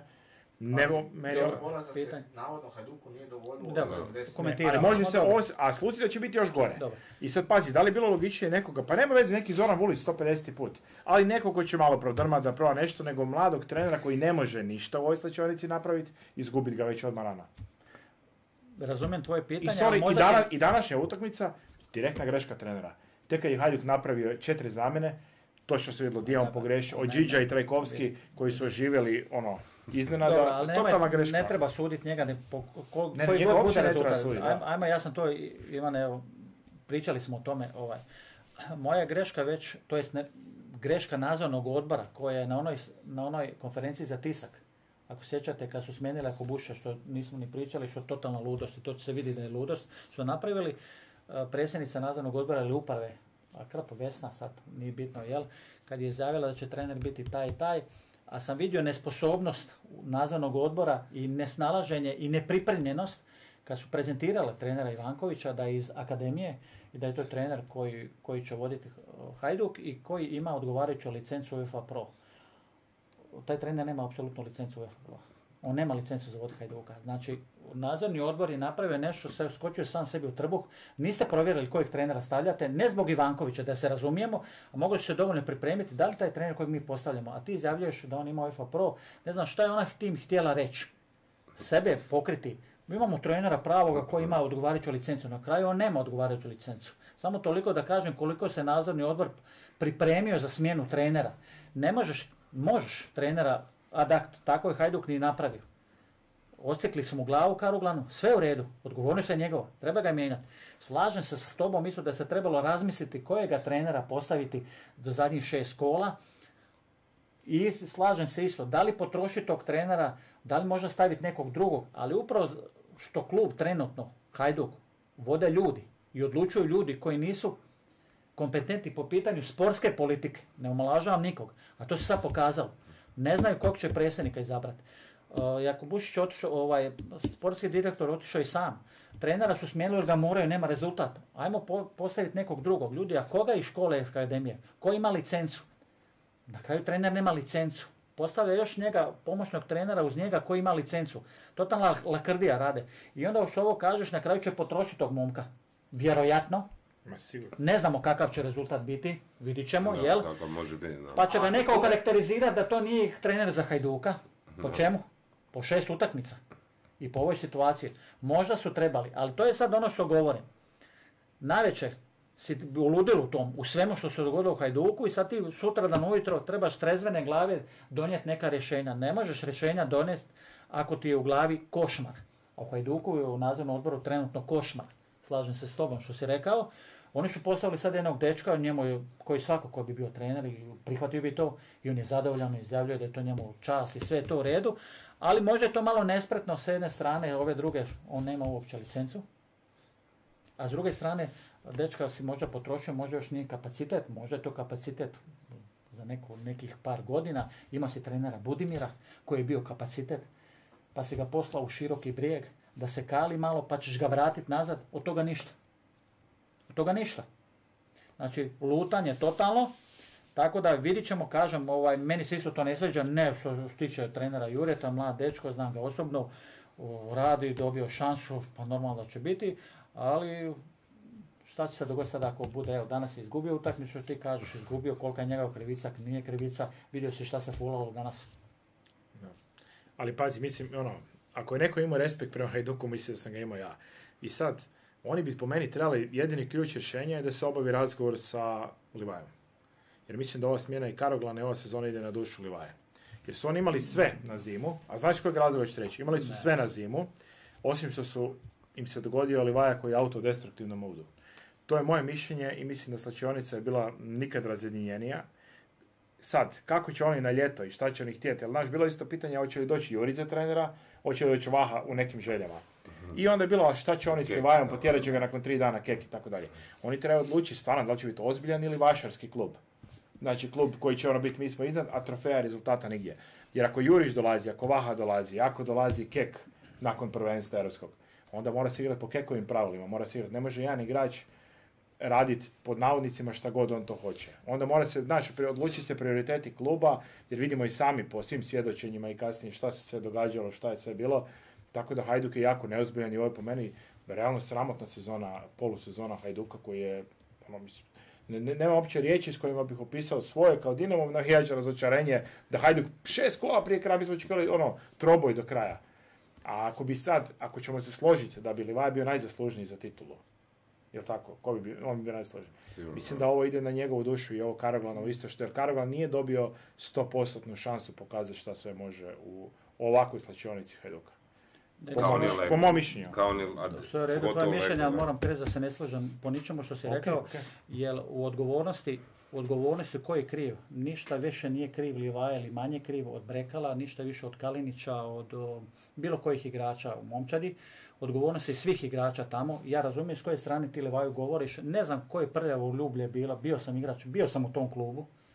Ja vam ne smijem iznositi neke stvari, slačionice i ne smiju izlaziti te stvari. Do, dođe nešto do javnosti i tako, ali okarakterizirati sada Lijava- Livaju da je najveći krivac. On ima svoju odgovornost kao jedan od najplaćenijih igrača i tako dalje, kao Petković u Dinamo i od tebe se traži najviše, ali ne vjerujem ja sada da je on odgovoran najviše zašto Hajduk nije prvak, i da je on više ili manje karoglan odgovor, da li me razumiješ? Dok je, pamti, dok je vijeka, dok je svijeta, prvo odgovornost za rezultat ima trener. To je gotova priča. Odmah dalje imaju igrači i oni su meni najviše odgovorni za ovaj rezultat Hajduka. Normalno, tu ima odgovornost dalje onda sportski direktor, dovođenje igrača i predsjednik. Međutim, šta se dogodilo u Hajduku? U Hajduku su riješili odmah onoga čovjeka kojeg možda nisu trebali ni riješiti, Jako Bušića, koji ima svoju odgovornost. Ali apsolutno ove tri godine što on radi u Hajduku i što je napravio Hajduka, što je da se njega sada okarakterizira, nismo prvaci pa ti moraš ići, to su gluposti notorne i ta- tako se to ne rješava. Nažalost, ako u Hajduku na taj način rješavaju predsjednika, ne znam koji će to predsjednik doći u Hajduku ili bilo kojem klubu koji će obećati nešto i bit će odmah i da kažemo mi ljudi, mi smo zadovoljni. To se neće nikad dogoditi. Njegovi rezultati se vide kod Bušića, po meni on je treba ostati. Nismo zadovoljni s trenerom, slažem se. Možda taj Karoglan u ovom trenutku nije kapacitet za Hajduk, to ne znači da nije loš trener. U ovom trenutku možda nije bio spreman za tu borbu, sve. Sportski direktor ima svoju odgovornost, igrač će ostati neki koji će ostati, koji su zadovoljili, neki su na posudbu, neki nisu zadovoljili, neki imaju velike ugovore, ali to je nešto normalno. Ja sam to u karijeri imao. Sjećam se utakmice m, protiv Panathinaikosa kad smo izabrali za ligu prvaka.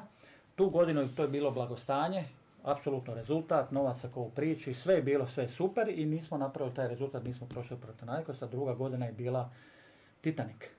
Znači, ali treba se dalje živi drugu godinu, trebaš dalje igrati. Znači, koji igrači ostaju šta igraju. Znači, jedna situacija koja se i sad Hajduku nagovješta kao za iduću sezonu, ljudi moji, sezona će brzo proći, šest kola ima, treba se pripremiti. Trenutno nemaš predsjednika, trenera, sportskog direktora.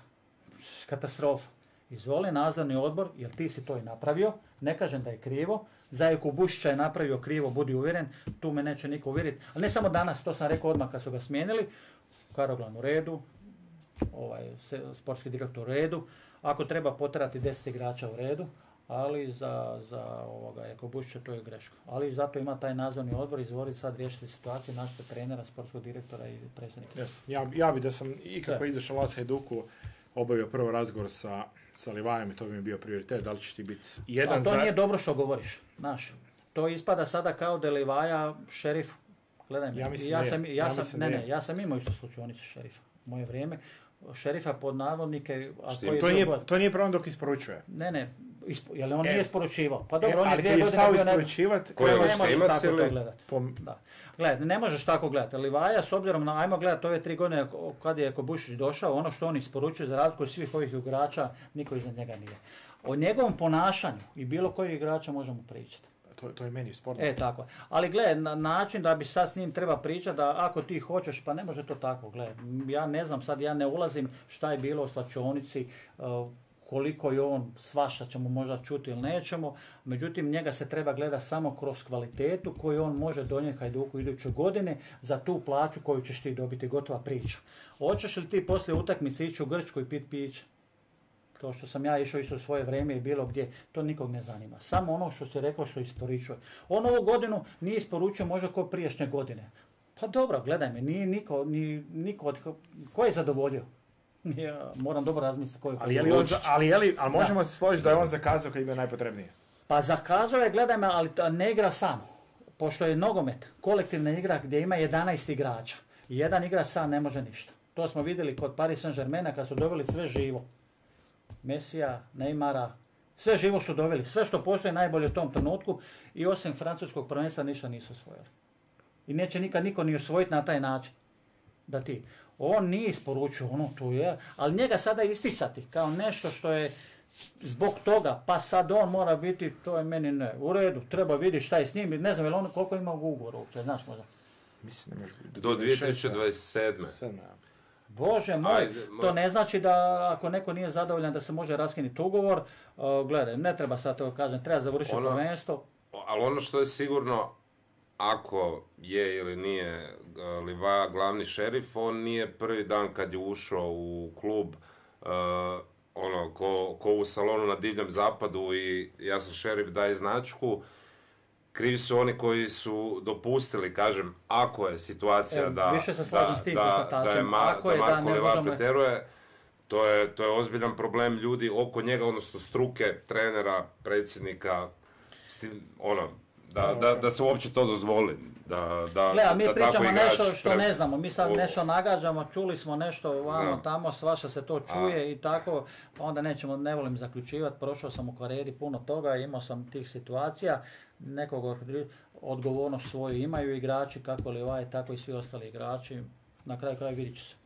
Ko će ostati u Hajduku, ko neće ostati, ko je zadovoljio, ko nije zadovoljio, ko ima velik ugovor, ne možeš više dobiti. Sjetite se u Dinamo, ajmo, sjetite se u Dinamo da se ti ugovori će se vjerojatno revidirati za iduću godinu, koliko ja imam informaciju, jer su preveliki ugovori, a ne daješ ništa. Znači, dok ti daješ taj ugovor tvoj od milijun eura, je velik, ali daješ nešto. Normalno, čim ti ne daješ, onda odmah se gleda koliko plaću ideš, a to je tako.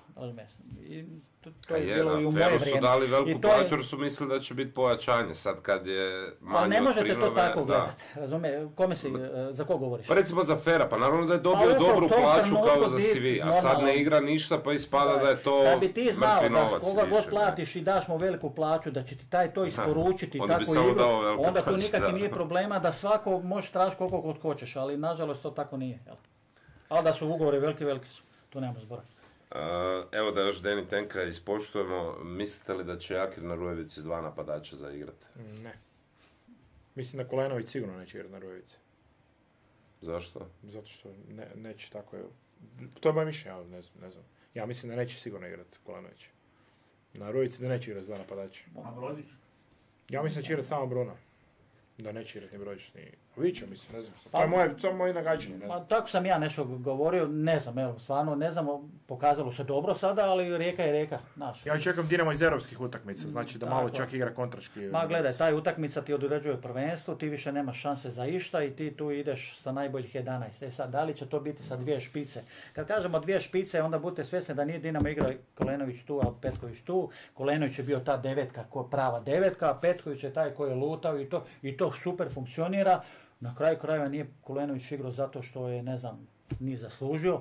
Čovjek Ne, ne, Kulenović je za mene jedno od iznenađenja. od svih ovih, upravo to, od svih ovih posudbi kad je on išao u Dinamo pa vamo pa tamo i vraćao se ovu posudbu, to je povratak u Dinamo, ja mislim da je Ne, najbolji ali, ali njegova energija je meni najbolja. I kad promašuje, on je tu, on je borben. Ne, on je ove godine ugodno iznenađenje od svih onih nekih igrača koji su bili daleko od, ajmo reći i na klupi od 18 i 19. Nije bio nikakvim kombinacijama nekim, Da, ne, budemo iskreni. Došao je svojim radom i svoj sve. E sad isto slažem se, ne znam, to je sad od trenera, da li će s dvije špice, ali kažem, vidi, vidit će se na šta i uh, s kojom ćeš razlikom ti doći sada. Ako bude sve to za Dinamo da se dođe na dva boda, onda Dinamo mora tu utakmicu dobiti. I onda nema kalkuliranja, čekam ja nešto 60. minutu ili sljedeće kole, ne čekam ja više ništa. Ja tu rijeku moram dobiti. I vjeruj mi da onda se tu, što se kaže, pokazuju junaci koji su i kako se onda ideš sa najboljima i sa fajterima i kvalitetom i sve ideš. I može i sa dvije špice i ne mora. Nije isključeno za ništa, kažem. Jer Dinamo mora tu utakmicu dobiti, ali tako? Mislim, da. Ma nema govora, mi gledaj, me- me- Osim ako ne, ne, ne, mislim, koliko me dvije utakmice svako prije te, jel tako?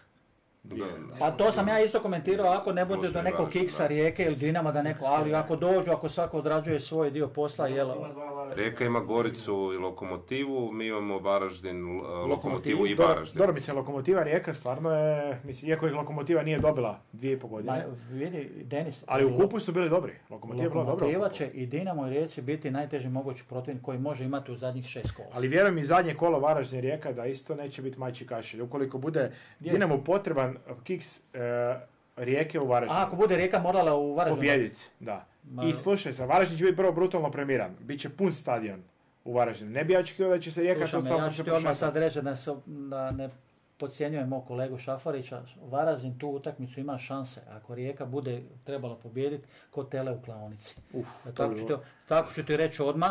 Znači, E, evo, nije zadnje kolo, zadnje evo, tako da zadnje kažem, kupa. eto, Imaju kolika Osijek ima u gosti, imaju Osijek u Da, i to prije Din, igraju s Dinamom u kupu, pa Osijek, Ako pa... dođe da, do da. zadnjeg kola, Ne, ne, zadnji kolo Rijeka Velopo, krivo sam vam rekao. Rijeka Velopo zadnji kolo. To bi bilo, Pa ne kažem to da podcjenjujem, kažem ti, ali ti kad imaš zadnju utakmicu, onda tu, tu zadnju utakmicu jednostavno igrao ti protiv Belupa, igrao ti protiv Varaždina, ja ako dođeš do zadnje utakmice, svejedno mi je ko je Sjetite se. Borussia Dortmund, spomenuli smo. A to je samo u prošlo- Njemačkoj, pošto sam bio tamo, to je, jer u Njemačkoj nema favorita. I u kad Engleskoj Championship je trebalo četiri ekipe pobijediti, nijedna nije pobijedila. Igrao, došao sam. Došao sam tek, su, u tek u Karlsruhe, možda mjesec, dva, igrali smo kup neki Karlsruhe no, drugoligaš, mi igramo protiv kup neki četvrligaš, pa ma, to je sad utakmica za odraditi. Dok mi Bogdan Čeči bio pomoćni trener i objasnio to, možeš svagdje reći samo ne u Njemačkoj.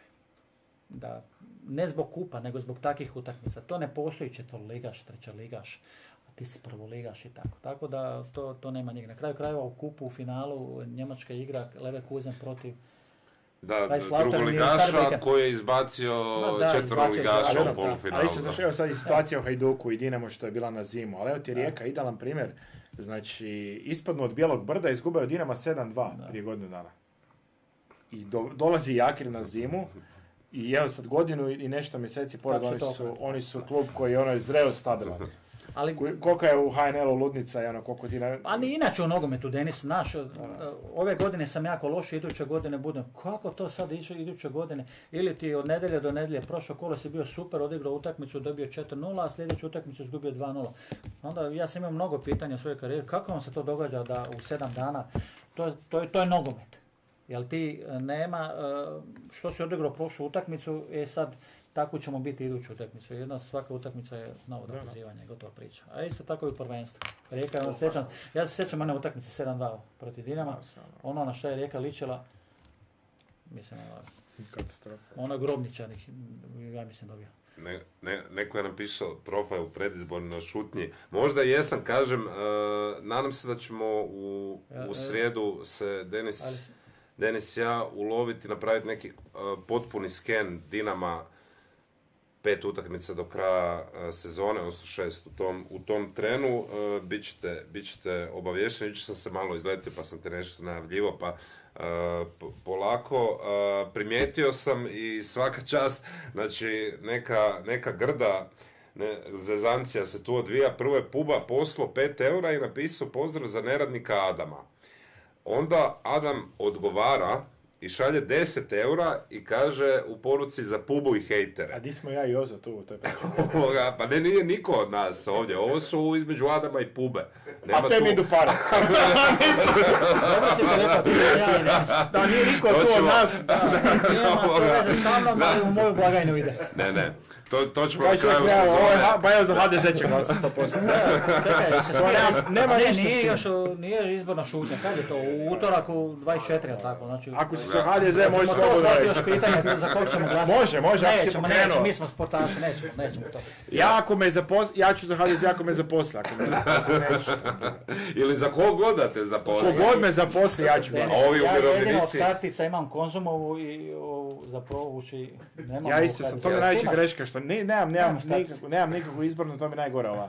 Stranke nisam uzeo. Ja sam, ja sam bio neodlučan do neki dan, onda sam Naša vidio stranka sport. da je e, umirovljenici zajedno, da im je Ja vođa, glasao. vođa se preziva Špika, a svi znaju kako koliko ja volim Špiku, ovoga, tako da evo, to mi je, E, to mi znači da ćeš ti za njih glasati. Da, da, ali ja moram reći iskreno, meni je osobna istekla.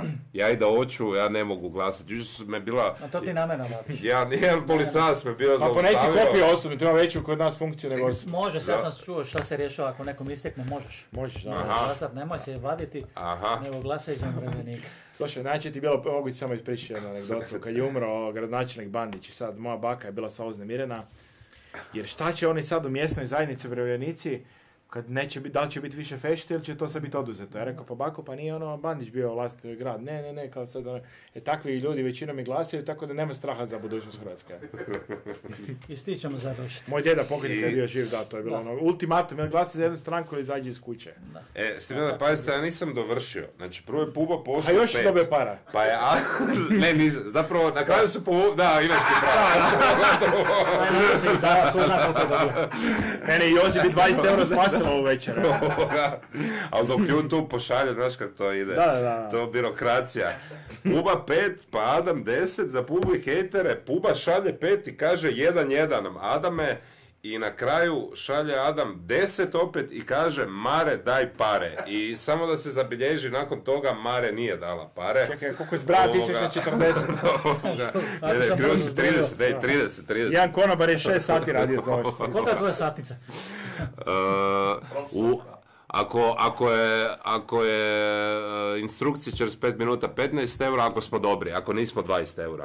Aj, Sa 45 minuta 15 evo. Da. si danas pokazao vruće hlačice u kojima snimaš. Uh, ne znam da li se, da li se, da li, da li se Pohvalio sam ih, kad sam nazire. vidio velika mi Ne, otvorio. Ne, nazire se. Zgrozio sam se. Proljeće, proljeće. Ne, ne, prvi put smo klimu, sam.